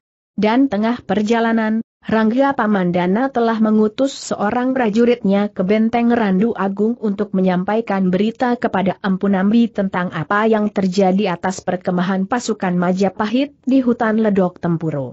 Sementara itu kebakaran di perkemahan pasukan Majapahit tidak bisa dipadamkan dan telah menjalar semakin membesar melahap habis perkemahan mereka. Dan malam itu dengan sangat terpaksa para prajurit Majapahit beristirahat di bawah langit terbuka. Rangga Pamandana, dua kali orang itu membuat keonaran, berkata Mahapatih Halayuda dengan kata-kata penuh kemarahan. Besok pagi, prajurit kita tidak siap menghadapi pertempurannya. Apakah sebaiknya kita mundur kembali ke Kademangan Japan, berkata Tumenggung Jalarananggana kepada Mahapatih. Namun ketinggian hati Mahapatih telah membuatnya tidak lagi dapat berpikir jernih, baginya peperangan ini adalah peperangan antara dua orang patih kerajaan Majapahit, dan dirinya telah berjanji kepada Raja Jayanagara untuk dengan segera membawa Empu Nambi, hidup atau mati. Besok kita tetap bertempur menghadapi musuh di padang ledok tempuro, katakan kepada prajurit bahwa bila mereka ingin makan, mereka harus mengalahkan musuh hari itu juga, berkata Mahapatih dengan ketinggian hatinya tidak mengindahkan usulan Tumenggung Jalarananggana. Seandainya Mahapati Halayuda menerima usulan Tumenggung Jalarananggana, seandainya membuang jauh-jauh rasa ketinggian hatinya, mau berpikir jernih memahami keadaan para prajuritnya, persediaan pangannya yang menipis serta istirahat yang sangat kurang, pastinya Mahapati Halayuda akan memutuskan lain. Dan seandainya malam itu dia Halayuda melihat apa yang tengah dilakukan oleh pasukan Empu Nambi di benteng Randu Agung, pastinya dia Halayuda akan berpikir lain. Malam itu dia Halayuda tidak mengetahui bahwa pasukan Empu Nambi di benteng Randu Agung tengah bersiap diri bergerak di dini hari, bergerak langsung menyerang pasukan dia Halayuda langsung di hutan Ledok Tempuro. Berawal dari utusan Rangga Pamandana yang telah bertemu langsung dengan Empu Nambi, menyampaikan apa yang telah dilakukan oleh pasukan Rangga Pamandana di perkemahan pasukan Majapahit itu. Maka malam itu juga Empu Nambi telah membangunkan prajuritnya yang bertugas di dapur umum untuk menyiapkan makanan untuk pasukannya yang sengaja belum dibangunkan agar dapat beristirahat dengan cukup. Manakala ransum para prajurit sudah siap, malam sudah berada di tiga perempat malam, barulah Empu Nambi membangunkan para prajuritnya, mengisi perutnya agar memberikan kekuatan baru. Demikianlah, di penghujung malam yang masih gelap dan dingin, terlihat pasukan Empu Nambi telah keluar dari regol pintu gerbang benteng Randu Agung. Iring-iringan pasukan Empu Nambi yang berbaris panjang terlihat seperti seekor ular naga raksasa merayap di jalan utama Kademangan Randu Agung. Cahaya obor di tangan setiap prajurit seperti sisik-sisik emas yang menyala-nyala bergerak di malam gelap itu. Demikianlah, laksana seekor ular naga raksasa di malam gelap, pasukan besar itu telah merayap bergerak terus hingga akhirnya telah berada di ujung timur Kademangan Randu Agung. Buka mata kepalamu lebar-lebar, barisan hantukah yang kamu lihat bergerak di padang ledok tempuro itu, berkata seorang prajurit Majapahit yang ditugaskan mengamati keadaan di ujung hutan ledok tempuro kepada kawannya sambil menunjuk ke arah padang ledok tempuro. Mereka bukan barisan hantu, tapi sebuah pasukan besar yang tengah bergerak, berkata kawannya memastikan. Nampaknya mereka mengarah ke hutan ini, malapetaka besar akan menimpa pasukan kita, berkata kembali petugas pengamat itu kepada kawannya. Demikianlah, terlihat kedua petugas pengamat itu telah langsung berbalik badan berlari masuk ke dalam hutan. Bukan main terkejutnya dia Halayuda mendengar berita dari dua orang petugas pengamatnya tentang sebuah pasukan besar yang tengah menuju ke hutan ledok tempuro. Tak ada dalam pikirannya sedikit pun bahwa Empu Nambi telah mengambil kesempatan menyerang pasukannya di malam itu juga. Ternyata Empu Nambi seorang manusia licik yang ku kenal di dunia ini, berkata dia halayuda penuh amarah di hadapan Tumenggung Jalarananggana dan ikal-ikalan bang. Bila saja ada cahaya yang menerangi wajah Tumenggung Jalarananggana saat itu, pasti akan terlihat sedikit senyum nyinyir yang menertawakan diri Mahapati Dia Halayuda seakan berkata, Kamulah manusia terbodoh yang ku kenal di dunia ini. Namun yang keluar dari bibir Tumenggung Jalarananggana berbeda dengan apa yang ada di dalam hatinya, masih ada waktu untuk menyelamatkan pasukan kita, menyingkir keluar dari hutan ini, berkata Tumenggung Jalarananggana kepada dia Halayuda. Tidak, tidak, tidak, kita bukan sekumpulan tikus sawah, tapi sekumpulan pasukan Majapahit yang punya harga diri tinggi. Kita tidak akan lari setapak pun, kita hadapi mereka, berkata dia Halayuda kepada Tumenggung Jalarananggana. Bila memang itu keputusan Mahapatih, Aku pamit diri untuk menyiapkan pasukanku, berkata Tumenggung Jalarananggana berpamit diri kepada dia Halayuda sebelum isi perutnya seperti ingin muntah merasa sangat muak melihat sikap dia Halayuda yang sangat tinggi hati itu.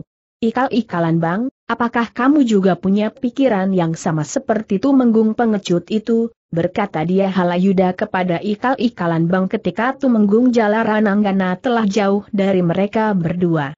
Terlihat ikal-ikalan bang tidak langsung menjawab, hati dan pikirannya diam-diam membenarkan usulan Tumenggung Jalarananggana. Menurutku, pasukan kita memang tidak punya kesiapan untuk menghadapi musuh, berkata ikal-ikalan bang. Enyahlah kamu dari hadapanku, berkata dia halayuda penuh kemarahan. Tanpa berkata apa pun, terlihat ikal-ikalan bang telah berbalik badan meninggalkan dia halayuda seorang diri. Ikal-ikalan Bang dan Tumenggung Jalarananggana memang seperti tengah digayuti kebimbangan hati, mengikuti kebenaran pikirannya atau mengikuti senapati agung mereka yang tinggi hati dan sangat keras kepala itu yang berujung kehancuran pasukannya sendiri, para prajurit Majapahit yang berada di bawah kendalinya selama ini, yang sebagian besar sudah menyatu dengan kehidupannya, yang dikenal juga secara kesehariannya, yang dikenal juga para keluarganya. Sementara saat itu demi kesetiaannya kepada perintah Seng Mahapati harus membiarkan prajuritnya masuk ke jurang kematiannya. Persiapkan prajurit kalian, berkata Tumenggung Jalarananggana kepada para perwira tingginya. Ternyata para prajurit Majapahit, dapat diandalkan, mereka nampaknya sudah terlatih untuk siap siaga menghadapi berbagai macam keadaan darurat, terlihat mereka dengan sigap telah bergabung dalam kesatuan masing-masing. Terlihat semua obor di perkemahan itu sudah dimatikan, gelap pekat memenuhi suasana di perkemahan itu. Dan ribuan metu dengan hati mencekam menanti dengan perasaan berdebar kehadiran musuh di kegelapan malam. Gila, mereka datang dengan jumlah dua kali lipat dari kemarin, berkata dia Halayuda manakala melihat puluhan ribu obor telah muncul di kegelapan hutan malam. Ternyata siasat Empu Nambi dapat mengelabui penglihatan musuhnya, menggetarkan perasaan musuhnya seakan-akan jumlah prajuritnya berlipat ganda. Padahal yang bertambah adalah obor di tangan para prajurit Lamajang di mana setiap orang membawa dua buah obor. Suasana di tengah hutan ledok tempuro itu menjadi semakin mencekam manakala obor di tangan prajurit Lamajang telah dimatikan. Para prajurit Lamajang seperti menghilang di kegelapan malam. Berdebar perasaan sebagian besar prajurit Majapahit, mereka seperti menghadapi prajurit hantu yang dapat seketika muncul di hadapan mereka, atau bahkan dapat muncul seketika dari arah belakang mereka sendiri. Kegelisahan itulah yang tengah melanda sebagian para prajurit Majapahit, di kegelapan malam menanti dengan hati dan perasaan cemas kemunculan musuh mereka. Kegelisahan para prajurit Majapahit akhirnya terpecahkan bersama desir ribuan suara anak panah berapi yang datang arah depan mereka. Serangan anak panah berapi yang datang dengan sangat tiba-tiba itu benar-benar membuat para prajurit Majapahit menjadi sangat panik, ratusan orang tidak dapat menghindarinya lagi telah terluka terkena anak panah berapi. Serangan anak panah yang membabi buta itu ternyata hanya sebuah permulaan awal kejutan, karena kejutan-kejutan lainnya ternyata datang tidak kalah hebatnya karena selang waktu yang amat singkat setelah hujan anak panah berapi itu telah terdengar suara riuh bergemuruh pasukan Empu Nambi yang datang dan muncul dengan sangat tiba-tiba sekali dari arah kanan dan kiri pasukan Majapahit.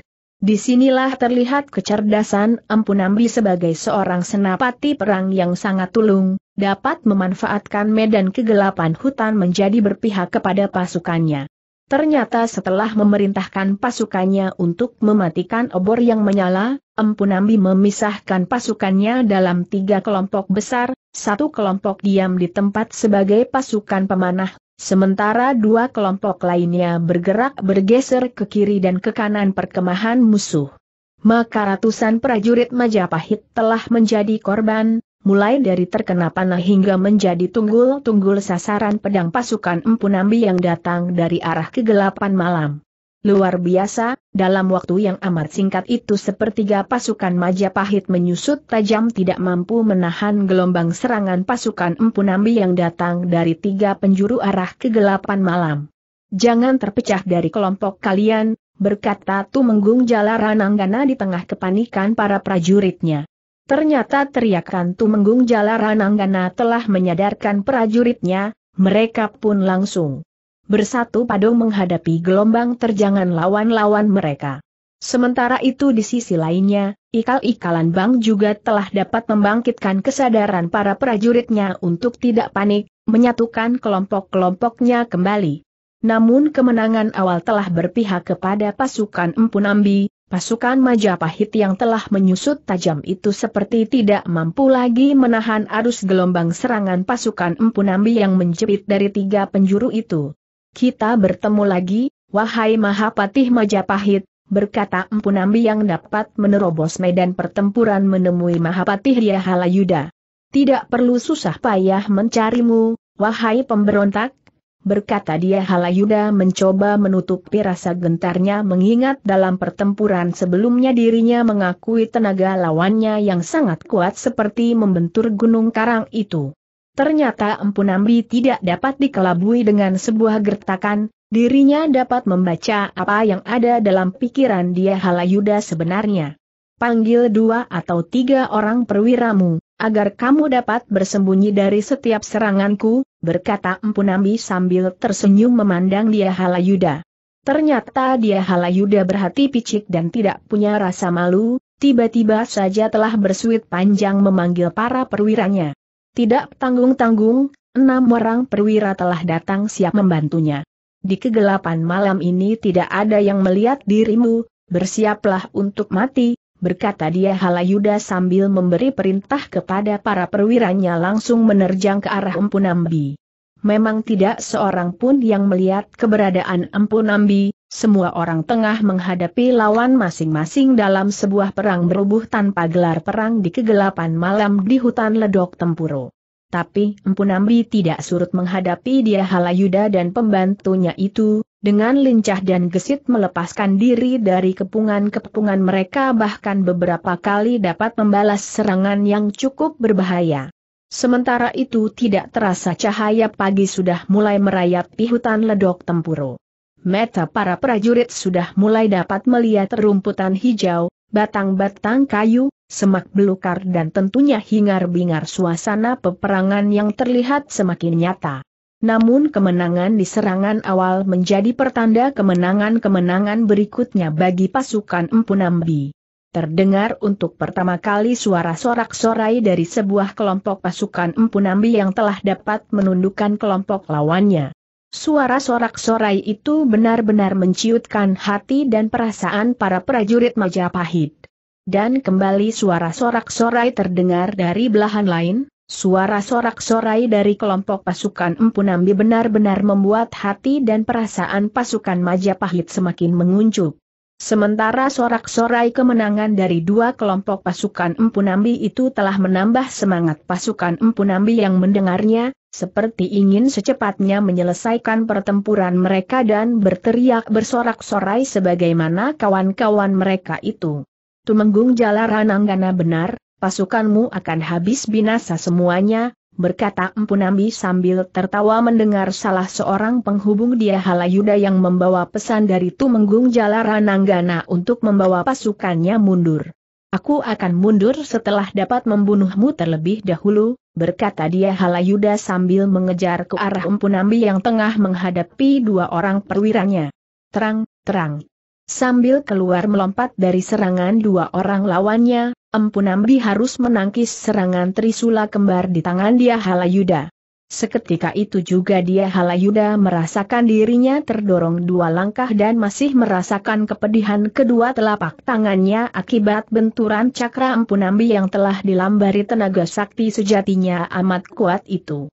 Beruntung empat orang perwira Majapahit sudah datang menghadang menghalangi dia Halayuda dari Empu Nambi yang melangkah mendekatinya. Namun Empu Nambi terlihat merasa ringan-ringan saja menghadapi keempat perwira itu, juga ketika dua orang perwira lainnya, bahkan ketika dia Halayuda sudah tatak kembali ikut bergabung mengeroyok Empu. Nambi, lihatlah pasukanmu sudah semakin menyusut, berkata Empu Nambi kepada dia Halayuda sambil bergerak menghindari dua orang penyerangnya. Ternyata sambil menghadapi dia Halayuda dan para perwiranya, Empu Nambi masih sempat melihat secara keseluruhan suasana pertempuran di hutan ledok tempuro itu. Sebagaimana yang dilihat oleh Empu Nambi, pasukan Majapahit yang dijepit dari tiga penjuru itu memang semakin menyusut jumlahnya. Nampaknya semangat pasukan Majapahit sudah terlihat semakin rapuh, Mungkin karena istirahat serta makan yang sangat terbatas benar-benar mempengaruhi kesiapan lahir dan batin pasukan yang berada dalam kepemimpinan Mahapatih Halayuda itu. Sementara itu pasukan Empu Nambi seperti seekor ayam aduan yang giras baru keluar dari kurungan Seng Pawang perawat ayam aduan, tandang pasukan Empu Nambi benar-benar menguasai semua garis pertempurannya.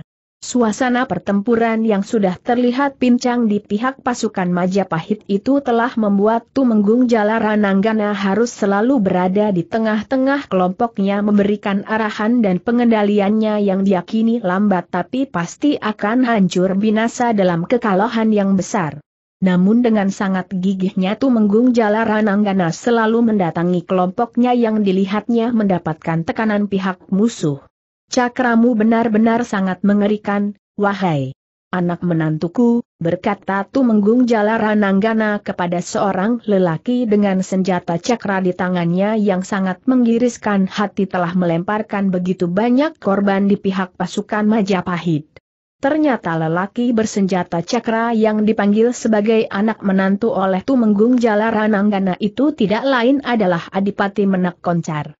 Ternyata Ananda hari ini telah salah menempatkan diri berada di pasukan ini, berkata Adipati Menak Koncar berdiri mematung penuh rasa kebimbangan. Anak menantu tidak salah berdiri, tapi peperangan inilah yang salah sehingga kita satu keluarga harus berdiri berseberangan, berkata Tumenggung Jalarananggana kepada Adipati Menak Koncar. Ananda merasa berat mengangkat cakra ini, berkata Adipati Menak Koncar ayah mertuamu juga seperti berat mengangkat pedang ini, takut melukaimu, berkata Tumenggung Jalarananggana. Bila demikian aku akan mencari lawan lain, berkata Adipati Menak Koncar sambil melangkah menjauhi ayah mertuanya itu. Lindungi dirimu dari pedang musuh, wahai anak menantuku, berkata Tumenggung Jalarananggana sambil melompat ke garis pertempuran yang berlawanan arah dengan anak menantunya itu. Dan tidak lama kemudian sorak-sorai terdengar dari pihak pasukan Empu Nambi, terdengar dari arah Adipati Menak Koncar menempatkan dirinya. Suara sorak-sorai pasukan Empu Nambi itu seperti merobek-robek hati dan perasaan Tumenggung Jalarananggana, mengiris iris hatinya yang tengah diombang-ambingkan oleh gelombang kebimbangan antara kecintaannya kepada pasukannya dan kasih sayangnya kepada ayah dua orang cucu tercintanya, Adipati Menak Koncar. Ingin rasanya Tumenggung Jalarananggana langsung melompat membantu pasukannya yang tengah mendapatkan tekanan, tapi bersamaan itu pula terbayang wajah dua orang cucu tercintanya seperti menahannya. Sementara itu Empu Nambi masih seperti bermain-main menghadapi dia Halayuda dan keenam perwira yang membantu mengeroyoknya. Biarkan diriku seorang diri menghadapi mereka, berkata Empu Nambi kepada setiap orang yang datang untuk meringankan dirinya itu. Pandangan dan senyum Punambi ternyata seperti sirep membuat siapa pun langsung menuruti permintaan Punambi mencari pertempuran lain. Lihatlah pasukanmu akan tergelas habis, aku beri kesempatan pasukanmu mundur keluar dari pertempuran ini, berkata Empunambi kepada dia Halayuda. Aku tidak akan mundur sebelum melihat bangkaimu, berkata dia Halayuda sambil menerjang bersama-sama perwira pembantunya. Namun dengan sigap dan lincah Empu Nambi sudah begitu cepat berkelit menghindar dan langsung menerjang membuat serangan balasan kepada salah seorang perwira. Ternyata perwira itu tidak siap dan lengah. Mendapatkan serangan yang tiba-tiba saja terarah kepadanya. Prak! Tempurung kaki kanan perwira itu terbentur cakra Empu Nambi yang meluncur begitu cepat dan tiba-tiba itu terlihat perwira itu terlempar jatuh dan bergulingan merasakan sakit yang amat sangat di bagian tulang tempurung kakinya yang remuk. Ciut seketika perasaan dia Halayuda dan kelima orang sisa perwira pembantunya itu melihat keampuhan serangan Empu Nambi yang sangat tiba-tiba itu, benar-benar seperti terjangan batu karang di tanah curam, meluncur tak mampu dihindari oleh siapa pun. Kalian tidak akan mampu menahan kerasnya cakraku ini, tapi kalian juga tidak akan mampu menahan 3.000 pasukan cadanganku yang datang dari arah belakangmu, berkata Empu Nambi sambil berdiri tegak. Ternyata Empu Nambi tidak sekedar berkata sesumbar, dia Halayuda yang terlatih pendengarannya telah mendengar suara sorak-sorai yang datang bukan di arna pertempuran, tapi dari arah belakang mereka meski masih sangat jauh. Kamu benar-benar licik, Empu Nambi, berkata dia Halayuda dengan gemeretak gigi menahan rasa amarah yang amat sangat. Sementara itu suara sorak-sorai dari kejauhan semakin santer terdengar, semakin mendekat meruntuhkan semangat bertempur pasukan Majapahit. Dengar dan pasang telingamu, siapa yang datang, berkata Empu Nambi sambil tersenyum berdiri tegak. Penuh percaya diri yang tinggi. Ternyata suara sorai pasukan yang datang itu terdengar semakin jelas. Kami pasukan dari Blambangan, sisakan kami musuh. Demikian suara itu bergema semakin jelas terdengar mendekati arah pertempuran. Pasti kamu sudah pernah mengenal pimpinan pasukan cadanganku itu, dialah Rangga Pamandana, berkata Empu Nambi masih dengan senyumnya. Cahaya matahari terlihat berada di puncak cakrawala, Itulah pertanda panggilan untuk datang pasukan cadangan yang sudah diatur oleh Empu Nambi membawa tenaga dan nafas baru bagi pasukannya.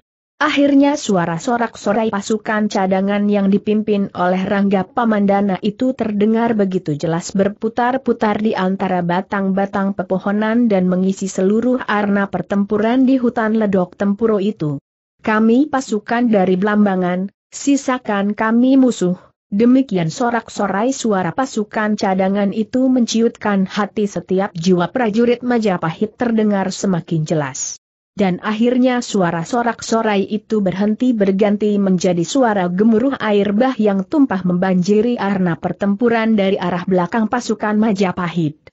Pasukan yang baru datang itu memang seperti sebuah air bah yang tumpah, langsung meluluh lantakan beberapa orang pasukan Majapahit yang berbalik badan menghadang mereka. Jiwa dan semangat prajurit Majapahit sudah semakin rapuh, berharap sebuah seruan mundur yang tidak juga kunjung datang. Di saat yang sangat genting itu, tiba-tiba saja sepasukan prajurit yang dipimpin oleh Tumenggung Jalarananggana datang dengan gelar perang cakra hanya menerobos ke tengah-tengah pertempuran. Lupakan masalah harga dirimu, ku beri kesempatan pasukanmu mundur, berkata Empu Nambi kepada dia Halayuda. Jangan sombong, aku pasti datang kembali membawamu hidup atau mati, berkata dia Halayuda yang langsung masuk menerobos ke dalam lingkaran barisan cakranya. Maafkan bila aku lancang mengambil alih perintah untuk mundur, berkata Tumenggung Jalarananggana kepada dia Halayuda yang baru masuk bersama beberapa prajurit lainnya. Kali ini kamu benar, berkata dia Halayuda kepada Tumenggung Jalarananggana. Maka dalam waktu yang amat singkat, lingkaran cakra yang pimpin oleh Tumenggung Jalarananggana itu semakin membesar menyerap seluruh prajurit Majapahit masuk ke dalamnya. Gelar perang cakra biuha memang sebuah gelar perang pertahanan yang amat kuat, orang sakti mana pun tidak akan berani coba-coba memasukinya. Dan setiap prajurit di tataran paling rendah sekalipun pasti sudah tahu bahwa itulah sebuah gelar perang mundur menyelamatkan pasukan yang tersisa dari kehancurannya. Biarkan mereka mundur, berkata Empu Nambi. Kepada pasukannya manakala melihat lingkaran cakra pasukan Majapahit yang dipimpin oleh Tumenggung Jalarananggana itu bergerak mundur ke arah utara hutan ledok Tempuro. Mendengar seruan Empu Nambi, seluruh prajurit Lamajang telah membiarkan pasukan musuh bergerak menjauhi arena pertempuran. Akhirnya pasukan Majapahit itu telah jauh terpisah masuk ke arah utara hutan ledok Tempuro dan menghilang di kelebatan hutan rimba. Mereka pergi meninggalkan kawan-kawannya yang mati dan terluka, berkata Empu Nambi kepada Adipati Menak Koncar kami akan segera memerintahkan sebagian pasukan untuk menolong mereka yang terluka, berkata Adipati Menak Koncar seperti paham makna perkataan ayahandanya itu. Maka tidak lama berselang terlihat beberapa orang turun menolong para korban peperangan itu, tidak melihat musuh atau kawan lagi, nilai-nilai naluri kemanusiaan telah mulai hidup kembali di ujung pertempuran itu yang nyaris merubah manusia menjadi sekelompok hewan buas yang saling menggeram menunjukkan taring dan cakarnya yang amat tajam dan runcing, membunuh atau terbunuh. Hanya itulah yang ada dalam pikiran setiap manusia di sebuah medan pertempuran. Dan sangkala terlihat redup sembunyi di kelebatan hutan ledok tempuro manakala beberapa orang tengah memisahkan mayat-mayat korban pertempuran itu, memisahkan mayat kawan dan mayat musuh mereka untuk dikebumikan di tempat terpisah. Mayat-mayat. Pasukan Majapahit nampaknya telah langsung dikebumikan di hutan ledok tempuro, Sementara mayat prajurit Lamajang mereka bawa kembali ke kampung halaman masing-masing dengan maksud pihak keluarga mereka masih dapat melihat wajah saudara, anaknya atau kekasihnya untuk yang terakhir kalinya. Mari kita kembali ke benteng Randu Agung, berkata Empu Nambi kepada putranya. Terdengar suara Adipati Menak Koncar yang mengguntur memberi aba-aba pasukannya untuk bergerak. Suara itu terdengar bergema berputar-putar di antara batang-batang pohon hutan ledok tempuro. Maka terlihatlah iring-iringan pasukan segelar sepapan pasukan Empu Nambi telah bergerak menerobos hutan ledok tempuro seperti seekor ular naga raksasa besar meliuk-liuk di antara bebatuan dan pohon-pohon besar semakin jauh meninggalkan sisa perkemahan yang hangus terbakar.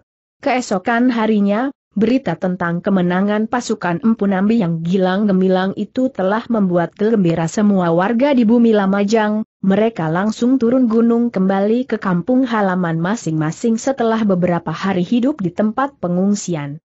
Namun kepada para penduduknya, Adipati Menak Koncar memberitahukan bahwa peperangan masih belum berakhir, pasukan Majapahit akan datang kembali dalam jumlah yang lebih besar lagi. Kapan pasukan Majapahit akan datang kembali belum dapat kita pastikan, untuk sementara kalian dapat pulang ke rumah masing-masing, bercocok tanam atau beternak, kami akan terus berjaga dan memantau keadaan. hingga bila saatnya kembali terjadi peperangan tidak akan membawa banyak korban, terutama para orang tua, para wanita dan anak-anak kita, berkata Adipati Menak Koncar kepada para bebahunya. Demikianlah, Adipati Menak Koncar dan pasukannya telah kembali ke Kadipaten Lamajang, sementara pasukan gabungan Empu Nambi yang berasal dari Kadipaten Belambangan dan berbagai daerah di Jawa Dwipa dan Bali Dwipa tetap berada di Benteng Randu Agung. Lumbung padi di Benteng Randu Agung ini masih berlimpah, sebagai cadanganku serahkan lahan persawahan yang luas milik kakek buyutku untuk digarap bersama, berkata kuda Anjam Piani kepada Empu Nambi. Terima kasih, kamu sudah banyak berkorban untuk kami, berkata Empu Nambi kepada kuda Anjam Piani. Kakekku selalu berkata bahwa hidup di dunia ini sangat singkat, kita harus pandai-pandai memilih di mana seharusnya kita berpijak, dan aku merasa telah berpijak di tempat yang benar, berjuang bersama Empu Nambi, berkata kuda Anjam Piani. Kakekmu sangat benar, wahai kudaan jampiani. Hidup di dunia ini memang sangat singkat. Berbahagialah mereka yang banyak menabung kebajikan di kehidupannya yang amat singkat ini, berkata Empu Nambi dengan wajah penuh berseri-seri kepada kudaan jampiani. Demikianlah, sejak saat itu Empu Nambi seperti telah kembali menjadi seorang guru suci sebagaimana dulu kala sebelum menjadi pejabat Patih Amangkubu di Istana Majapahit. Hampir setiap malam Empu Nambi memberikan pencerahan lahir dan batin kepada pasukan gabungannya yang berkumpul di benteng Randu Agung itu.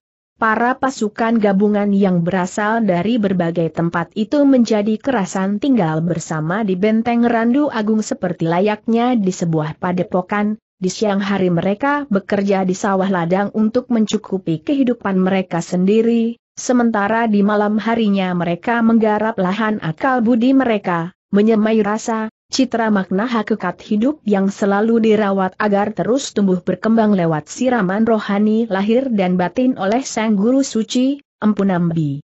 Sementara itu pasukan Mahapati Halayuda saat itu masih berada di Kademangan Japan menunggu bala bantuan dari kota Raja Majapahit untuk mengganyang kembali bumi Lamajang. Nampaknya kekalahan pasukan Majapahit oleh pasukan Empu Nambi telah membuat Raja Jaya Negara merasa tercoreng citranya sebagai seorang Raja Agung yang sangat dihormati. Dan ingin membuktikan kebesaran pasukan Majapahit yang kuat dengan menurunkan laskar yang besar untuk menundukkan bumi Lamajang. Rencana penyerangan ke bumi Lamajang dilaksanakan lebih cermat lagi dengan membangun jalur lumbung-lumbung persediaan pangan pasukan Majapahit di beberapa tempat sepanjang perjalanan antara kota Raja Majapahit menuju bumi Lamajang. Sementara kesatuan pasukan yang dikirim bergabung dengan pasukan Mahapatih yang masih berada di Kademangan Japan saat itu adalah sebuah pasukan dari Kesatuan Jalapati, sebuah kesatuan pasukan khusus yang sangat disegani di kerajaan Majapahit yang dipimpin oleh seorang tumenggung yang sangat mumpuni, cerdas dan punya pengalaman yang luas menghadapi berbagai macam jenis pertempuran, di tempat terbuka maupun di kelebatan hutan rimba.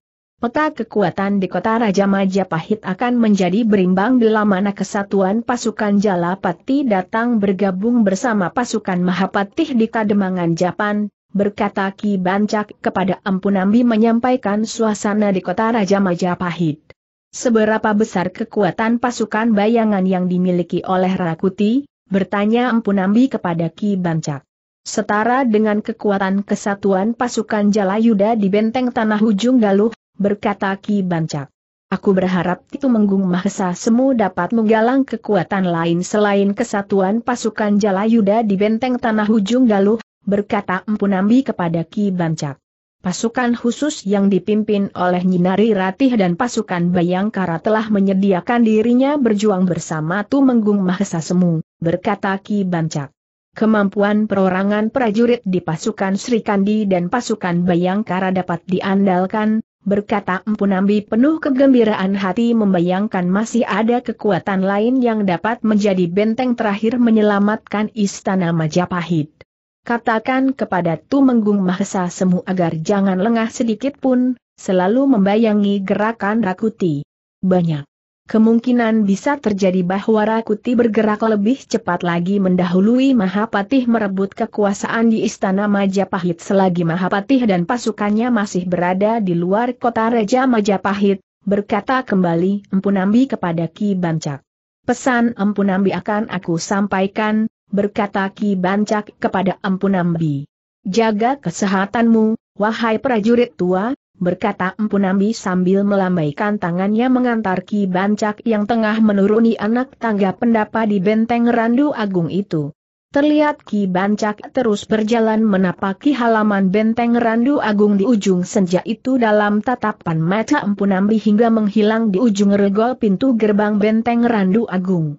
Angin dingin lembut menyapu wajah Ki Bancak yang telah menyusuri jalan kademangan Randu Agung di keremangan malam itu.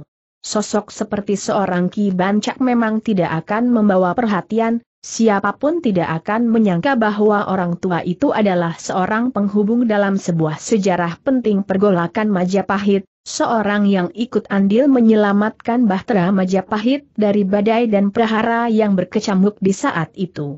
Aku berharap tanaman jagung itu dapat dipanen sebelum datangnya prahara di bumi Lamajang ini, berkata Ki Bancak dalam hati ketika melewati sebuah ladang jagung yang tumbuh subur. Sebagai seorang yang pernah mengalami masa perang dan masa damai di bumi Majapahit, kecamuk yang tengah berlangsung antara Istana Majapahit dan keluarga Empu Nambi benar-benar membuat dirinya menjadi sangat prihatin, berharap prahara itu selekasnya berakhir. Selama ini ku percaya bahwa seorang raja adalah pilihan para dewa, Mungkinkah para dewa bisa salah memilih? Berkata Ki Bancak dalam hati sambil berjalan menyayangkan sikap Raja Jaya Negara yang lemah mudah terhasut oleh bisikan-bisikan orang lain sehingga memusuhi Empu Nambi, sahabat setia ayahandanya sendiri. Tidak terasa langkah kaki Ki Bancak telah membawanya hingga di kota Kadipaten Lamajang, menyusuri jalan-jalan utamanya yang sepi di malam itu, melihat rumah-rumah penduduk yang telah dihuni kembali ditandai pelita minyak jarak yang tergantung di depan rumah setiap penduduk. Kemapanan dan kenyamanan para warga kota Kadipaten Lamajang ini sebentar lagi akan berubah, mereka harus kembali lagi ke pengungsiannya, hidup dengan segala keterbatasannya, berkata Ki Bancak dalam hati sambil memandang kerlap-kerli pelita rumah penduduk di sepanjang perjalanan malamnya memasuki kota Kadipaten Lamajang. Akhirnya langkah kaki Ki Bancak terlihat sudah semakin menjauhi kota Kadipaten Lamajang. Gerbang Gapura ini akan menjadi saksi bisu, pasang surut kehidupan warga Lamajang, masa perang dan masa damai di bumi Lamajang ini, berkata kembali Ki Bancak dalam hati manakala melewati sebuah gerbang gapura perbatasan kota Kadipaten Lamajang yang kokoh berdiri seperti raksasa bisu di kegelapan malam. Aku akan mencari tempat beristirahat sejenak, agar tidak memasuki kademangan Japan di saat hari masih gelap, berkata Ki Bancak dalam hati yang merencanakan dirinya sendiri memasuki kademangan Japan di saat pagi sudah terang tanah agar tidak menjadi bahan perhatian dan kecurigaan para prajurit Majapahit yang pastinya sudah memasang banyak petugasnya mengawasi daerah sekitarnya, terutama para pendatang yang berjalan dari arah bumi Lamajang. Terlihat Ki Bancak tengah bersandar di sebuah batu besar di bawah sebuah pohon besar, nafas orang tua itu terlihat kembang kempis dengan mata yang terpejam, nampaknya tengah menikmati lonjoran kaki tuanya setelah setengah malam berjalan tiada henti. Ketika langit bersulam tipis warna kemerahan, terlihat Ki Bancak sudah bersiap-siap diri untuk melanjutkan perjalanannya kembali. Ternyata Ki Bancak sangat berpengalaman mengatur perjalanannya sendiri, berusaha mengambil arah yang berbeda ketika berangkat. Nampaknya Ki Bancak sangat berhati-hati agar tidak dapat bertemu orang-orang yang sama di perjalanannya, apalagi orang yang kebetulan dari pihak lawan. Kadang Ki Bancak harus mengambil arah memutar agar membingungkan siapa pun orang yang kebetulan mengikutinya. Naluri mantan petugas telik sandi ini memang telah mendarah daging di dalam diri orang tua itu. Dan kali ini untuk menuju arah Kademangan Japan, terlihat Kibancak tidak menempuh lewat jalur yang biasa dilewati para pedagang, tapi mengambil arah melengkung yang lebih sepi dan jarang dilewati orang pada umumnya. Ternyata naluri keprajuritannya telah membawanya ke sebuah ladang jagung yang cukup luas. Nampaknya inilah lumbung hidup yang paling terdekat menuju arah Lamajang, pasti ada banyak lagi ditanam lumbung-lumbung hidup sepanjang jalan dari arah kota Raja Majapahit menuju arah Lamajang, berkata Ki Bancak dalam hati sambil berusaha menjauhi sebuah gubuk yang ada tidak jauh dari ladang jagung itu. Terlihat Ki Bancak sudah jauh meninggalkan ladang jagung yang cukup luas itu. Nampaknya Tumenggung Jalapati seorang yang sangat cerdas, tidak ingin kalah berperang hanya karena prajuritnya kelaparan kehabisan ransum makanan, berkata Ki Bancak dalam hati sambil terus berjalan menjauhi ladang jagung yang dicurigainya sebagai salah satu lumbung hidup yang sengaja ditata untuk sebuah persiapan peperangan menghadapi pasukan Empu Nambi di bumi Lamajang. Demikianlah, Ki Bancak terus berjalan menuju arah Kademangan Japan. Di tempat-tempat yang dianggapnya sangat sepi terlihat Ki Bancak telah menggunakan kemampuannya yang jarang dimiliki oleh orang biasa, berlari cepat. Ternyata orang tua itu punya kemampuan ilmu meringankan tubuh yang cukup tinggi, telah berlari melesat terbang tanpa merasakan kelelahan sedikit pun. Dan ketika dirasakan dirinya telah mendekati arah Kademangan Japan, terlihat Ki Bancak kembali berjalan seperti biasa, tertatih-tatih layaknya seorang pengembara tua. Pak tua, carilah jalan lain. Terlarang siapa pun memasuki perkemahan prajurit Majapahit, berkata seorang prajurit Majapahit kepada Ki Bancak di sebuah jalan menuju arah Bulakan Panjang. Ki Bancak yang sudah mengetahui bahwa Bulakan Panjang itu sebagai perkemahan pasukan Majapahit, terlihat berpura-pura heran. Dua tahun lalu tidak ada larangan melewati jalan ini, berkata Ki Bancak pura-pura merasa heran. Itulah perbedaannya, dua tahun lalu mungkin Pak Tua masih dapat berlari cepat, sementara hari ini Pak Tua jalan biasa saja sudah tertatih-tatih, berkata prajurit itu kepada Ki Bancak. Terlihat Ki Bancak berpura-pura layaknya orang yang tidak suka hati disebut sebagai orang tua yang sudah rapuh. Kamu salah orang muda, aku masih dapat berlari cepat bahkan dapat terbang melesat mengendarai angin, berkata Ki Bancak kepada prajurit itu. Nampaknya Pak Tua sering berhayal di sepanjang perjalanan, berkata prajurit itu sambil tertawa. Terbanglah, tapi jangan lewat bulakan ini, berkata kembali prajurit itu masih dengan tawanya. Masih dengan wajah bersungut-sungut terlihat Ki Bancak telah melangkah ke arah lain menuju arah Kademangan Japan yang memang sudah tidak begitu jauh itu. Tidak banyak yang dilakukan oleh Ki Bancak di Kademangan Japan selain melihat suasana keadaan Kademangan Japan dan mencari sebuah kedai untuk mengganjal perutuannya yang sudah minta diisi. Kasihan warga Kademangan ini, mereka harus menyerahkan setengah lumbung persediaan makanan mereka untuk panen depan kepada prajurit Majapahit di belakang itu, berkata Ki Bancak sambil mengunyah. Lontong balap bumbu kuning, sebuah makanan yang khas ditemukan hanya di kedai daerah sekitar pantai Pasuruan itu. Demikianlah, dalam perjalanan kembali ke kota Raja Majapahit, naluri keprajuritan Ki Bancak telah dapat menemukan kantong-kantong persediaan pangan, ladang-ladang jagung di tempat-tempat yang sepi dan terjaga. Dari umur tanaman jagung itu, Ki Bancak dapat memperkirakan bahwa peperangan akan berlangsung menjelang purnama kedua dari hari itu.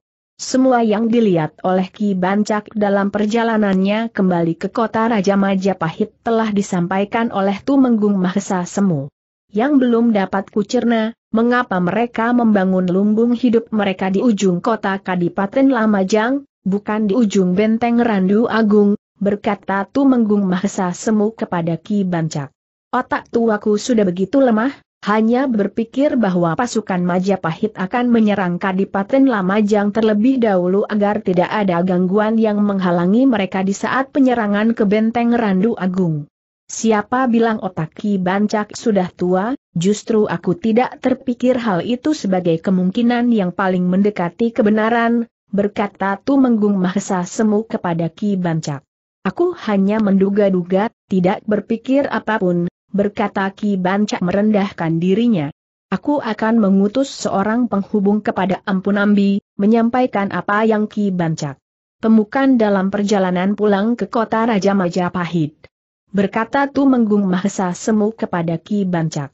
Mudah-mudahan Empu Nambi dapat berpikir lebih cermat lagi membuat beberapa persiapan menghadapi serangan pasukan Majapahit yang lebih besar ini, berkata kembali Tu Menggung Mahesa Semu kepada Ki Bancak. Ragil dan ketiga sepupunya yang sebaya terlihat tengah bermain di ladang jagung ayahnya. Keempat anak itu terlihat berlari-lari masuk timbul tenggelam di antara batang tanaman jagung yang lebih tinggi dari tubuh mereka. Usia Ragil saat itu baru menginjak usia delapan tahun, belum dapat memahami apa yang dipikirkan kedua orang tuanya saat itu, yang dia tahu dua hari lagi tanaman jagung akan dipanen, yang diketahui juga bahwa setelah itu mereka harus kembali berangkat mengungsi ke lereng Gunung Semeru seperti beberapa waktu yang lalu. Ragil memang tidak bertanya sama sekali kepada kedua orang tuanya mengapa mereka harus mengungsi. Kedua orang tua Ragil dan juga para tetangganya telah mendapat perintah dari para bebahu kota Kadipaten Lamajang bahwa mereka secepatnya harus pergi mengungsi ke tempat yang aman, karena pasukan Majapahit akan datang kembali dalam waktu yang dekat ini. Berita tentang datangnya sebuah pasukan besar dari kota Raja Majapahit telah sampai di benteng Randu Agung. Dan siang itu terlihat Empu Nambi telah mengumpulkan seluruh pimpinan pasukannya untuk membuat berbagai persiapan untuk menghadapi serangan pasukan dari Majapahit itu. Mereka nampaknya tidak langsung datang menggempur kita di benteng Randu Agung ini, tapi bergerak ke arah Kademangan Pronojiwo, berkata Empu Nambi kepada para pemimpin pasukannya. Mengapa ayahanda berpikir seperti itu? Bertanya Adipati Menak Koncar belum dapat memahami jalan pikiran ayahandanya itu. Panji Samara, jelaskan dengan naluri keprajuritanmu bila mana dirimu adalah seorang senapati pasukan Majapahit yang telah menempatkan kantong-kantong lumbung persediaanmu dekat ke arah kaki Gunung Semeru, Bukankah mereka mengetahui bahwa pasukan kita berada di benteng Randu Agung, berkata Empu Nambi kepada Panji Samara. Seandainya aku adalah seorang senapati Majapahit, aku akan membumi hanguskan bumi Lamajang hingga tidak ada semak belukar yang dapat hidup tumbuh di bumi, barulah aku akan mengepung benteng Randu Agung tanpa rasa khawatir mendapatkan serangan dari arah belakang. Itulah sebabnya ada ladang jagung tersembunyi dan terjaga di dekat arah kaki Gunung Semeru, bukan di sekitar benteng Randu Agung, berkata Panji Samara memaparkan pemikirannya sesuai permintaan Empu Nambi. Gangguan kecil pasukan Rangga Pamandana pasti tidak akan luput dari ingatan mereka, berkata Empu Nambi menambahkan. Licik sekali jalan pikiran mereka itu, menyerang para pengungsi yang hanya dilindungi sebuah pasukan kecil Rangga Pamandana, berkata menak koncar mulai. Mengerti jalan pikiran ayahandanya itu. Bawalah pasukanmu ke Kademangan Pronojiwo, agar kamu dapat membantu pasukan Rangga Pamandana, melindungi para pengungsi di sana, berkata Empu Nambi kepada Adipati Menak Koncar. Terlihat kebimbangan di hati Adipati Menak Koncar menanggapi perintah ayahandanya itu. Nampaknya Empu Nambi dapat membaca apa yang ada dalam pikiran dan perasaan hati putranya itu. Selembar nyawaku ini tidaklah berarti dibandingkan keselamatan ribuan pengungsi di lereng Gunung Semeru, di sana banyak anak-anak kecil yang harus dapat menikmati kehidupannya yang sangat panjang, di sana ada banyak wanita belia yang harus dijaga kehormatannya. Bila memang sebuah pedang merenggut nyawaku dalam peperangan ini, aku akan mati dengan tersenyum. Namun pastikan untukku bahwa kamu telah melindungi warga Lamajang di pengungsiannya, berkata Empu Nambi kepada Adipati Menak Koncar dengan wajah penuh senyum mencoba meredam kebimbangan hati putranya itu. Suasana di atas pendapat tempat mereka berkumpul seketika menjadi begitu hening, perkataan Empu Nambi telah membuat semua orang yang berada di atas panggung pendapat itu seperti ternyuh mendengar keluhuran jiwa seorang Empu Nambi yang lebih banyak memikirkan orang lain selain dirinya sendiri. Adipati menek koncar, bawalah pasukanmu ke kaki Gunung Semeru, Aku akan menggantikanmu menjaga ayahandamu sebagaimana kamu dapat menjaganya di benteng Randu Agung ini, berkata Panji Wiranagari kepada Adipati Menak Koncar yang masih diselimuti rasa. Kebimbangan hati tercermin di wajahnya. Adipati Menak Koncar, aku Panji Anengah mencintai ayahandamu sebagaimana dirimu, percayakanlah diri ayahandamu kepada diriku, berkata Panji Anengah kepada Adipati Menak Koncar. Adipati Menak Koncar, aku Panci Samara telah rela berseberangan dengan kerajaan Majapahit karena aku terlahir sebagai seorang prajurit dari tangan dan didikan ayahandamu. Percayalah kepadaku, aku akan menjaganya sebagaimana seorang putranya menjaganya, berkata Panci Samara dengan suara penuh ketulusan hati didengar oleh semua yang berkumpul di pendapa benteng Randa Agung itu. Wahai ayahandaku, berbahagialah dirimu dikelilingi oleh kesetiaan. Ringan dan tunai kewajibanku sebagai seorang putramu.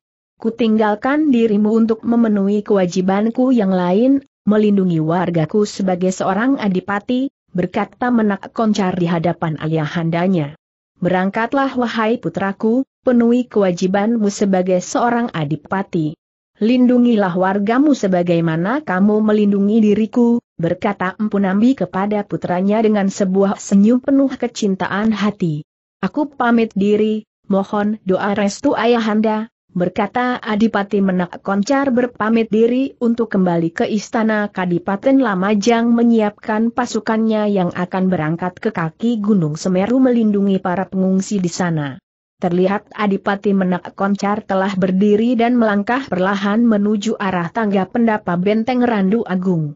Terlihat Empu Nambi menarik nafas panjang terus mengikuti arah putranya melangkah yang telah berada di ujung anak tangga terakhir pendapa. Aku bangga mempunyai seorang putra sepertimu, wahai menak koncar, berkata Empu Nambi dalam hati melepas kepergian putranya itu.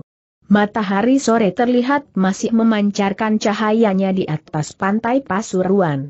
Tiga orang lelaki terlihat tengah memperbaiki perahu mereka, sementara tiga orang bocah telanjang asyik bermain berlari di atas pasir pantai. Ada sekumpulan prajurit Majapahit di Kademangan Japan, kabarnya mereka akan menyerang bumi Lamajang, berkata seorang lelaki kepada kawannya masih sambil memperbaiki beberapa bagian perahu mereka. Beruntunglah bahwa kita terlahir sebagai orang laut yang hanya menghadapi badai di lautan, bukan pedang dan lembing sebagaimana perang orang-orang darat itu, berkata kawannya menanggapi perkataan lelaki pertama.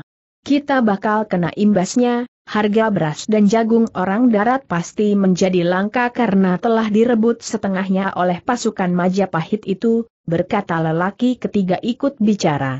Demikianlah, meski kademangan Japan jauh dari garis pantai Pasuruan, namun kehadiran pasukan Majapahit berdampak bagi kehidupan para nelayan di sekitarnya yang merasa sukar mendapatkan beras dan jagung dari petani di Kademangan Japan. Di mana setengah dari lumbung-lumbung mereka telah diserahkan kepada pasukan Majapahit guna kebutuhan peperangan mereka. Baru sepekan pasukan Majapahit tiba di Kademangan Japan bergabung dengan pasukan sebelumnya di bawah pimpinan Mahapati Halayuda. Namun bagi warga Kademangan Japan dan sekitarnya kehadiran mereka seperti sudah begitu lama, begitu berat menyengsarakan kehidupan para petani yang sangat sederhana itu. Bahkan beberapa prajurit Majapahit sudah mulai mengganggu anak-anak gadis mereka. Namun hari itu para warga Kademangan Japan mulai dapat bernafas lega, karena pagi hari tadi pasukan besar itu telah bergerak meninggalkan Kademangan Japan. Ternyata pasukan besar Majapahit itu bergerak menyimpang dari jalur yang semestinya, tidak bergerak menuju bumi Lamajang lewat Kademangan Randu Agung, tapi menyimpang ke arah kaki Gunung Semeru.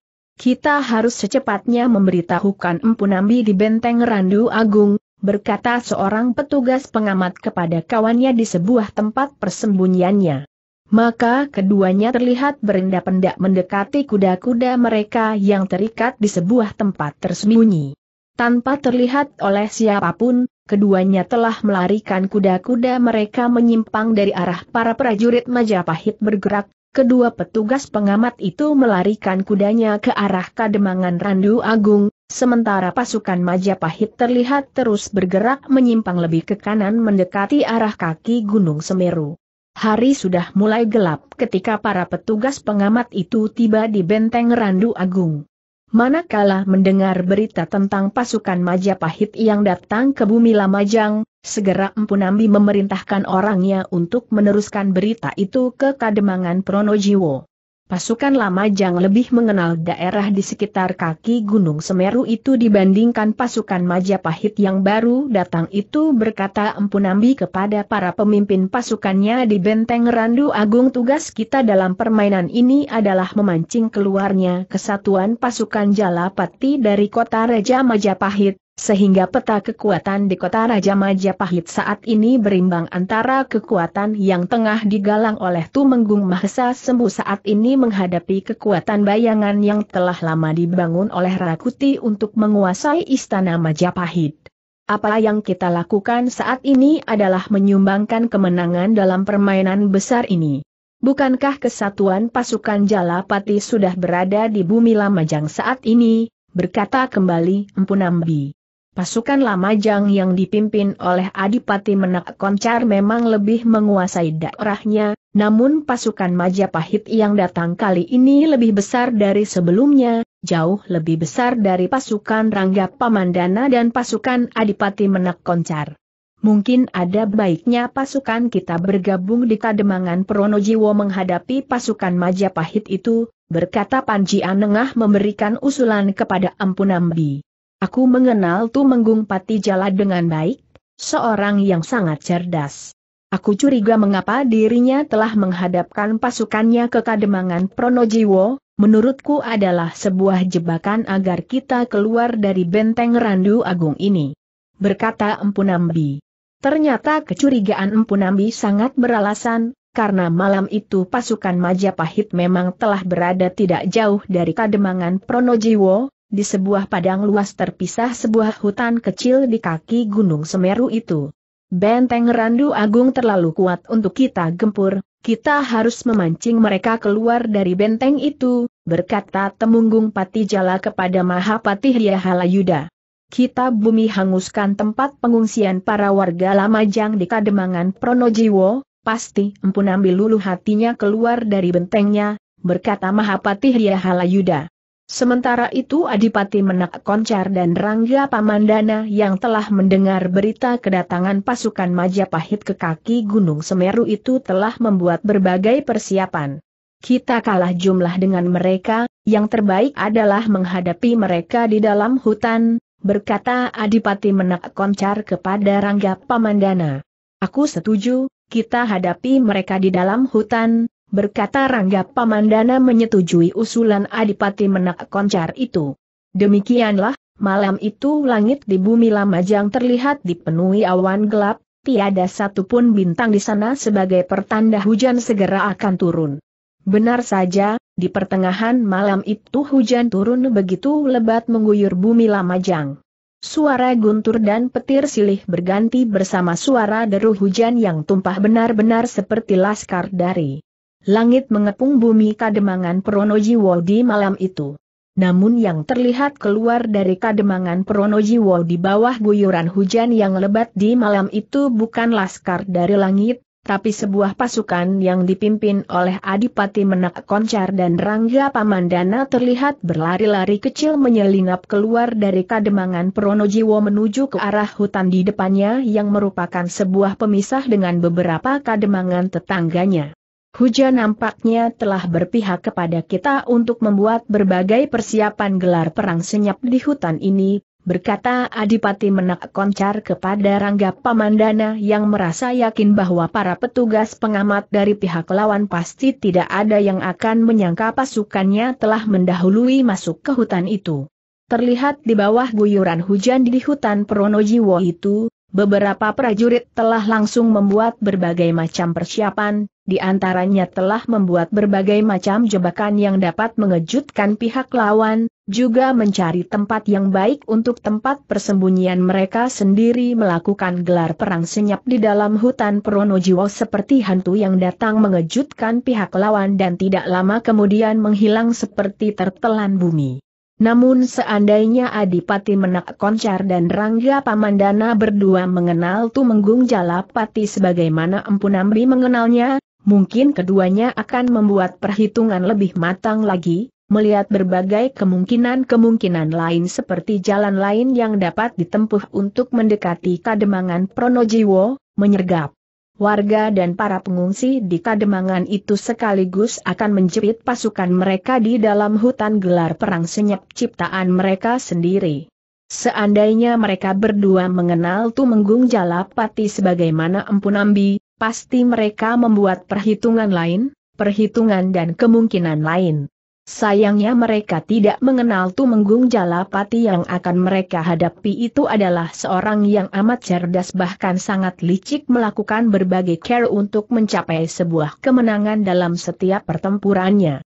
Janganlah Mahaptih mengatakan rencana yang sebenarnya kepada Tumenggung Rananggana, aku belum dapat sepenuhnya mempercayainya. Perintahkan setengah pasukannya untuk masuk ke hutan Pronojiwo, Sementara aku akan membawa seluruh sisa pasukan kita menempuh jalan lain menyergap warga dan para pengungsi di Kademangan Pronojiwo, berkata Tumenggung Jalapati kepada Mahapati Ryahalayuda. Ternyata Tumenggung Jalapati sudah dapat memperhitungkan bahwa pasukan lawan pasti akan menyergap mereka di hutan Pronojiwo. Maka dengan liciknya telah meminta Mahapati Halayuda memerintahkan Tumenggung Jalarananggana membawa setengah pasukannya masuk ke hutan Pronojiwo sebagai pancingan yang dapat menahan pasukan lawan di hutan itu, sementara dengan diam-diam Tumenggung Jalapati akan menempuh jalan lain memasuki Kademangan Pronojiwo. Temunggung Jalarananggana akan masuk ke dalam jebakan menantunya sendiri, berkata Mahapati. Demikianlah, diawali di sebuah pagi yang cerah di mana sebuah iring-iringan pasukan Majapahit terlihat keluar dari perkemahannya. Mereka adalah 5.000 prajurit Majapahit yang dipimpin langsung oleh Tumenggung Jalarananggana. Sesuai dengan perintah Mahapati Halayuda selaku Senapati Agung, telah menugaskan Tumenggung Jalarananggana dan pasukannya sebagai pasukan pelopor pembuka jalur pasukan induk memasuki hutan Pronojiwo. Tumenggung Jalarananggana tidak mengetahui apa yang ada dalam akal pikiran Mahapati Halayuda saat itu, di mana pasukannya diperalat hanya untuk sebagai pancingan menahan pasukan Lamajang di hutan Pronojiwo. Terlihat pasukan itu telah mulai menjauhi perkemahan mereka, terus bergerak di atas tanah basah, di atas genangan air sisa hujan yang turun cukup deras kemarin malamnya. Tibalah pasukan itu di muka hutan, membelakangi matahari pagi yang menerangi punggung-punggung mereka. Pendengaran Tumenggung Jalarananggana yang cukup terlatih itu telah mendengar suara binatang memekik ketakutan, dan bersamaan dengan itu pula dilihatnya banyak burung-burung hutan terbang seperti sebuah pertanda binatang itu telah terusik ketenangannya. Terlihat Tumenggung Jalarananggana mengangkat tangannya tinggi-tinggi, seketika itu seorang penghubungnya telah meneriakkan sebuah aba-aba perintah untuk berhenti berjalan. Maka seketika itu juga pasukan itu berhenti di tempat dalam barisan yang utuh. Berhati-hatilah, hari ini kita tidak tengah berwisata memasuki sebuah hutan sepi. Tapi kali ini kita akan memasuki sebuah kawasan hutan yang telah dipenuhi banyak musuh, menunggu kelengahan kita dengan berbagai macam jebakan. Waspadalah kalian, atau nyawa kalian akan terkubur di hutan ini tanpa pertanda apa pun, berkata Tumenggung Jalarananggana mengingatkan pasukannya. Terlihat Tumenggung Jalarananggana menganggukkan kepalanya perlahan kepada seorang penghubungnya. Maka terdengarlah sebuah aba-aba yang sangat keras dari seorang penghubung itu, sebuah perintah untuk kembali berjalan ke arah hutan Pronojiwo. Rumput-rumput basah, ujung ilalang yang basah langsung rebah memercikan air tergelas langkah pasukan Tumenggung Jalarananggana yang telah bergerak maju. Di depan mereka hutan Pronojiwo yang dipenuhi pohon-pohon tua yang menjulang tinggi serta tanaman merambat seperti pagar hidup mengelilingi hutan Pronojiwo. Diterangi cahaya matahari pagi, pasukan itu telah memasuki wilayah hutan Pronojiwo seperti seekor ular naga merayap masuk ke lubang hitam, bermula hanya tinggal setengah badannya yang terlihat, berlanjut dengan sedikit bagian ekornya yang tersisa dan akhirnya lenyap seluruh wujud pasukan itu. Ternyata cahaya matahari tidak mampu menembus kedalaman hutan yang cukup lebat itu, pasukan itu seperti berada di dalam sebuah goa yang remang-remang, semerbak aroma daun dan tanah humus terbawa angin tercium oleh para prajurit Majapahit itu yang telah seluruhnya memasuki hutan Pronojiwo.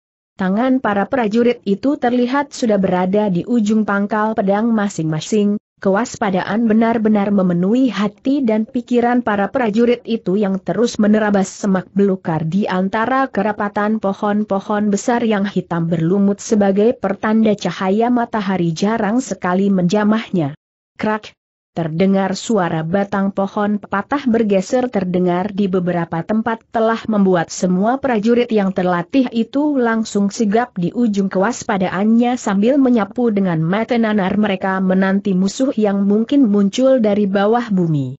Ternyata suara batang pohon patah itu adalah benar-benar batang pohon yang memang sengaja dipatangkan dari pangkalnya, Begitu cepat dari tiga kedipan mata sudah terdengar puluhan batang pohon roboh di kanan kiri para prajurit Majapahit itu.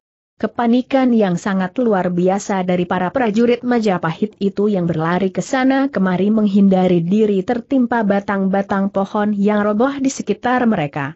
Bum, bum, bum. Terdengar puluhan batang pohon yang tumbang menghantam bumi. Terdengar suara jerit para prajurit Majapahit yang tidak sempat berlindung dan berlari terkena hantaman batang dan cabang pohon yang tumbang. Kesatuan barisan pasukan itu sudah tidak utuh lagi.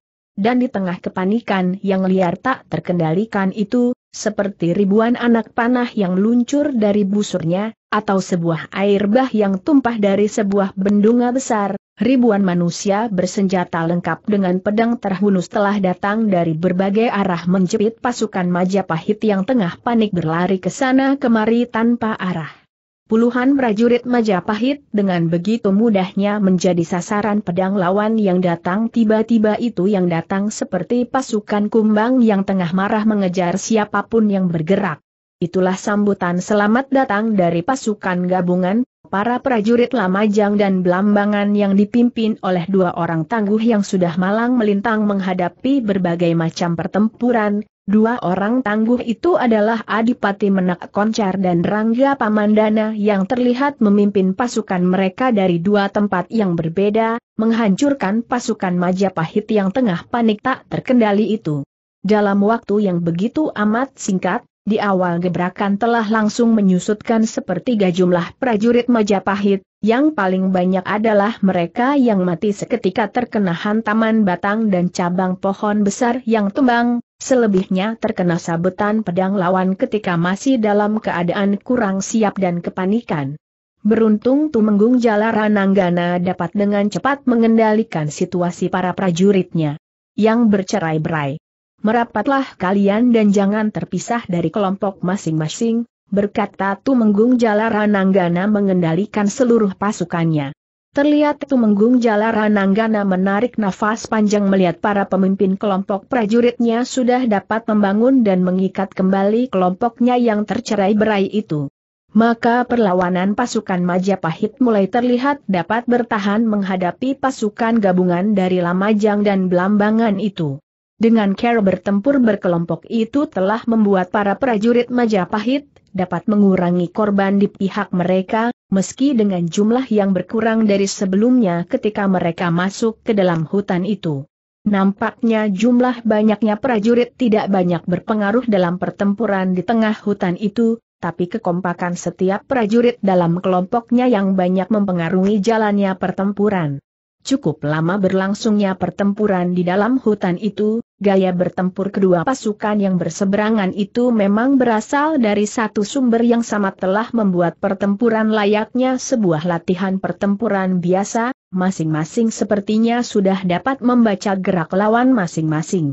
Di tengah-tengah suasana pertempuran itu, Tumenggung Jalarananggana masih mencoba menyapu dengan pandangannya, mencoba mencari anak menantunya.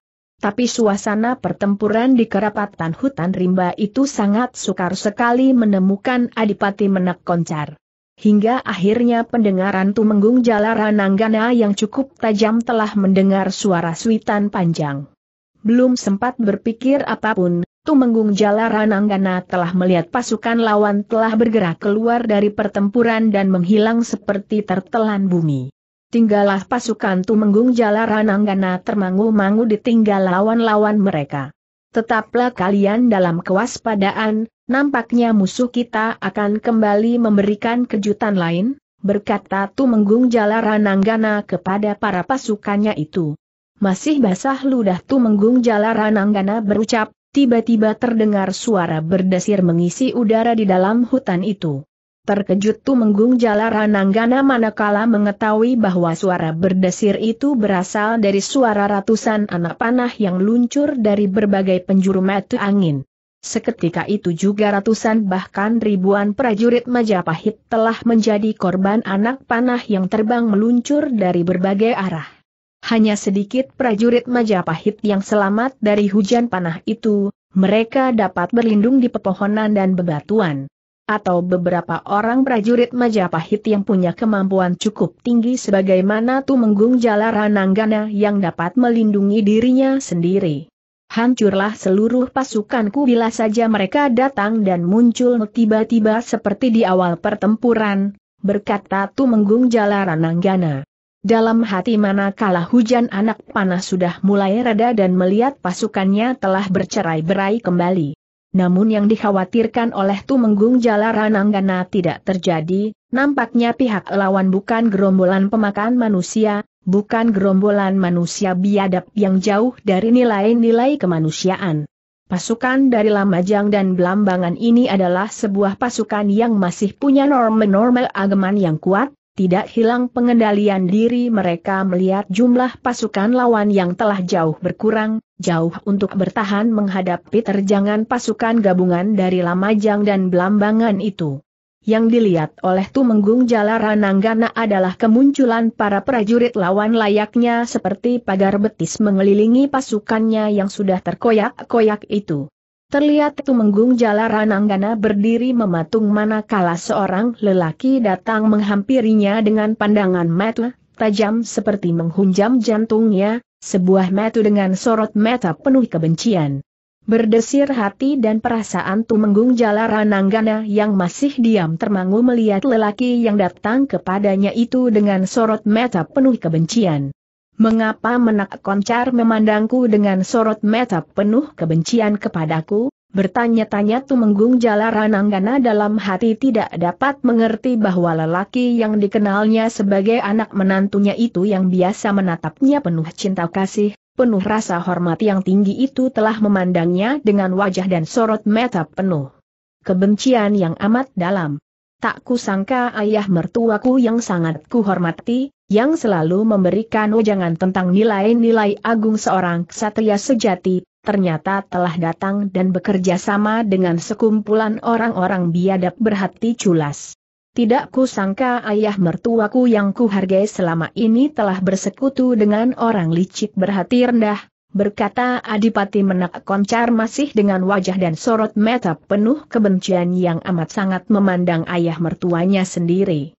Wahai anak menantuku, kelicikan dan kepicikan apa gerangan yang kamu tuduhkan kepada diriku ini, jelaskanlah kepadaku sehingga aku tidak bertanya-tanya mengapa dirimu memandangku dengan mata penuh kebencian seperti itu bertanya Tumenggung Jalarananggana kepada Adipati Menak Koncar dengan perasaan hati yang pedih dan perih melihat kebencian anak menantunya itu kepada dirinya. Perlukah aku menjelaskannya berkata Adipati Menak Koncar dengan suara yang datar. Tersentuh juga harga diri Tumenggung Jalarananggana mendengar Ker Adipati Menak Koncar berkata kepadanya. Wahai anak menantuku, kalah dan menang dalam pertempuran menurutku adalah sesuatu yang lumrah. Begitu juga hidup dan matiku di pertempuran ini juga sesuatu yang mungkin sudah digariskan oleh Gusti Yang Maha Agung. Bila hari ini aku berhadapan dengan pasukan dari ayah kedua cucuku, itu pun kuanggap sebagai bagian dari garis hidupku pula. Karena aku berdiri di sini adalah garis kehidupanku sebagai seorang prajurit Majapahit yang memegang janji dan amanat suci. Bila pedangku melukai seorang musuh, itu adalah garis dan tugasku sebagai seorang prajurit. Wejangan itu pernah ku sampaikan kepadamu. Namun hari ini aku melihat kebencian di dalam matamu telah membuat perih dan pedih hati orang tua sepertiku ini, berkata Tumenggung Jalarananggana dengan suara yang bergetar menahan gejolak perasaan hatinya yang berduka. Mendengar perkataan orang tua yang sangat dihormati itu telah menyurutkan perasaan hati Adipati Menak Koncar yang bergejolak penuh kesangsian dan kebencian kepada orang tua itu, berbalik membentur keraguan bergumul di dalam amuk perasaan dan pikirannya. Pasukan Majapahit telah berlaku licik, menahan pasukanku di hutan ini sementara dengan diam-diam masuk dan menguasai kekademangan Pronojiwo dari jalan yang lain. Saat ini para warga Kademangan Pronojiwo dan para pengungsi telah menjadi sandera hidup pasukan Majapahit itu. Katakan bagaimana ayah mertua dapat mencuci tangan sendiri, mengetahui dan bersekutu bersama kelicikan. Puaskah ayah mertua mendengar kemenangan dengan jalan kelicikan, bukan dengan pedang dan care, terhormat sebagaimana jiwa seorang ksatria seperti yang selalu ayah mertua petuahkan kepada anak menantumu ini, berkata Adipati Menak Koncar dengan memicingkan mata seperti ingin membaca apa yang ada dalam pikiran ayah mertuanya itu. Anak menantuku, ternyata kamu salah besar menilaiku seperti itu. Aku membawa pasukan ini sebagai pasukan pembuka. Bila benar apa yang kamu katakan, itu artinya aku dan pasukanku telah diperalat oleh mereka, telah dikorbankan oleh mereka untuk sebuah jalan kemenangan lewat jalan culas yang tidak ada sedikit pun terbesit di hatiku. Bila mana aku mengetahui apa yang ada dalam pikiran mereka, pasti akulah yang akan menjadi menentang pertamanya. Bila memang benar apa yang kamu katakan tentang penyanderaan warga biasa, maka mulai saat ini aku akan berada berseberangan dengan mereka, aku akan memerangi mereka bersamamu, wahai anak menantuku, berkata Tumenggung Jalarananggana dengan suara yang tegas dan kuat. Nampaknya Adipati Menak Koncar seperti tidak memungkiri semua perkataan ayah mertuanya itu yang diketahuinya tidak pernah berdusta, sangat tegas dan kuat memegang jiwa kesatriannya. Maafkan anak menantumu ini, telah salah dan berpikir dangkal menilai ayah mertua, berkata Adipati Menak Koncar menunduk penuh rasa penyesalan. Tidak ada yang perlu dimaafkan dan disesalkan, yang perlu kita selesaikan hari ini adalah bagaimana menyelamatkan para warga yang menjadi sandra dan kademangan Pronojiwo yang telah dikuasai oleh pasukan Dia Halayuda itu, berkata Tumenggung Jalarananggana kepada Adipati Menak Koncar. Para prajurit yang tersisa dari pasukan Jalarananggana itu telah ikut mendengar pembicaraan pemimpin mereka, telah mendengar sendiri bahwa mereka ternyata hanya dijadikan sebuah umpan, sebuah korban di hutan Pronojiwo itu telah membuat mereka dapat memilih di mana kebenaran seharusnya berpijak. Namun sebagai seorang pemimpin yang bijak, Tumenggung Jalarananggana masih memberi kesempatan kepada prajuritnya untuk bicara dan memilih kalian masih dapat memilih dan menentukan, ikut bersamaku bergabung dengan pasukan Empu Nambi, atau tetap berada di bawah naungan panji pasukan Majapahit. Apa pun pilihan kalian tidak akan merubah sikapku atas kalian, kita adalah saudara, berkata Tumenggung Jalarananggana kepada pasukannya yang tersisa itu. Kami akan selalu berada di belakang Tuan Tumenggung, berteriak para prajurit pasukan Tumenggung Jalarananggana menyampaikan pilihannya. Demikianlah, pasukan yang semula bertempur di hutan Pronojiwo itu kini terlihat telah bersatu padu, berjalan beriringan menuju arah timur, menuju arah benteng Randu Agung. Apa yang sebenarnya terjadi pada kademangan Pronojiwo? Sebagaimana diceritakan di muka bahwa Tumenggung Jalapati telah bermain metu dengan Mahapati Ria Halayuda untuk memperalat setengah dari pasukan Tumenggung Jalarananggana agar masuk hutan Pronojiwo, sementara tanpa sepengetahuan Tumenggung Jalarananggana, diam-diam mereka telah membawa seluruh pasukan Majapahit lewat jalan lain masuk ke Kademangan Pronojiwo yang telah ditinggalkan oleh pasukan Adipati Menak Koncar dan Rangga Pamandana. Tanpa perlawanan apa pun, pasukan Majapahit dengan mudahnya menguasai Kademangan Pronojiwo. Menawan warga dan para pengungsi yang ada di sana. Kedatangan pasukan Majapahit itu begitu cepat bergerak mengepung Kademangan Pronojiwo telah membuat para warga dan para pengungsi tidak berdaya untuk lari menyelamatkan diri.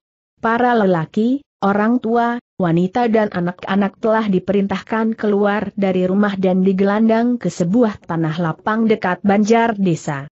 Beruntung seorang lelaki muda lepas dari pengawasan mereka dan berhasil lolos lari ke hutan Pronojiwo dan melaporkannya langsung kepada Adipati Menak Koncar apa yang terjadi atas para warga dan para pengungsi di Kademangan Pronojiwo itu.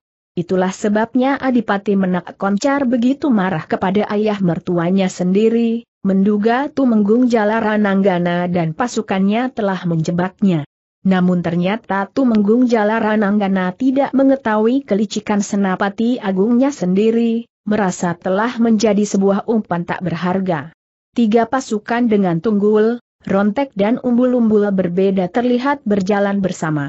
Apa yang telah terjadi, berkata Empu Nambi dalam hati yang melihat tiga pasukan dari kesatuan yang berbeda itu tengah memasuki gerbang pintu benteng Randu Agung. Apalagi melihat sebuah umbul-umbul besar yang sudah sangat dikenalnya ketika dirinya masih sebagai seorang patih Amangkubumi di Istana Majapahit. Kesatuan pasukan Jalaran Anggana, berkata kembali Empu Nambi dalam hati sambil memandang sebuah umbul-umbul bergambar harimau putih di dalam lingkaran matahari. Sungguh sebuah kegembiraan hati melihat seorang mertua lelaki berjalan beriringan dengan anak menantunya, berkata penuh kegembiraan hati Empu Nambi menyambut kehadiran Tumenggung Jalaran Anggana di benteng Randu Agung itu. Seorang tuan rumah yang baik biasanya mengadakan yang tidak ada untuk menjamu seorang besannya, berkata Tumenggung Jalarananggana kepada Empu Nambi penuh persahabatan. Terlihat Empu Nambi, Adipati Menak Koncar, Rangga Pamandana dan para pemimpin pasukan lainnya telah duduk bersama di pendapa benteng Randu Agung. Bukankah pasukan kalian seharusnya berada di Kademangan Pronojiwo? berkata Empu Nambi sambil memandang ke arah Adipati Menak Koncar dan Rangga Pamandana, berharap salah seorang di antaranya dapat bercerita apa yang telah terjadi. Maka Adipati Menak Koncar langsung bercerita apa yang terjadi di Kademangan Pronojiwo saat itu, juga cikal bakal mengapa Tumenggung Jalarananggana akhirnya bergabung bersama pasukannya itu. Apa sebenarnya yang mereka inginkan dari penguasaan Kademangan Pronojiwo itu, berkata Panji Samara. Yang pasti mereka masih menganggap benteng Randu Agung ini terlalu kuat untuk digempur langsung oleh mereka. Masih terlalu pagi untuk menilai apa yang sebenarnya mereka inginkan dari penguasaan Kademangan Pronojiwo, masih terlalu banyak kemungkinan mengapa mereka harus membayar dengan sebuah harga yang sangat mahal, mengorbankan setengah pasukan Jalarananggana hanya untuk menguasai sebuah kademangan yang tidak berarti itu, berkata Empu Nambi menanggapi pertanyaan Panji Samara itu. Semua orang di atas pendapa benteng Randu Agung itu seperti terpancing untuk terus berpikir, menjadikan suasana di atas pendapa itu menjadi begitu sepi, hening tanpa suara apa pun, semua orang nampaknya telah terperangkap di dalam alam pikirannya masing-masing. Kedemangan itu memang tidak berarti apa pun, namun warga dan para pengungsi yang ada di sana pasti sangat berarti bagi sebagian prajurit yang ada di benteng Randu Agung ini, setidaknya di sana ada keluarga mereka, istri, anak atau orang tua mereka sendiri, berkata Tumenggung Jalarananggana memecahkan suasana keheningan di atas pendapa itu. Perkataan Tumenggung Jalarananggana seperti sebuah pedang tajam yang bergerak menikam jantung hati dan pikiran semua orang. Lebih-lebih Adipati Menak Koncar yang langsung tersentak, pucat pasi. Sontak semua mata di atas pendapa benteng Randu Agung itu langsung tertuju ke arah Empu Nambi, berharap orang tua yang sangat bijak itu dapat menyampaikan sebuah pendapatnya, memberikan sebuah jalan keluar. Empu Nambi memang melihat ketegangan memenuhi semua orang di atas pendapat itu, terbaca lewat cahaya mati mereka yang penuh pengharapan dan ketergantungannya kepada dirinya seorang. Namun Empu Nambi tidak berkata apa pun, tidak juga menemukan jawaban apa pun di kepalanya.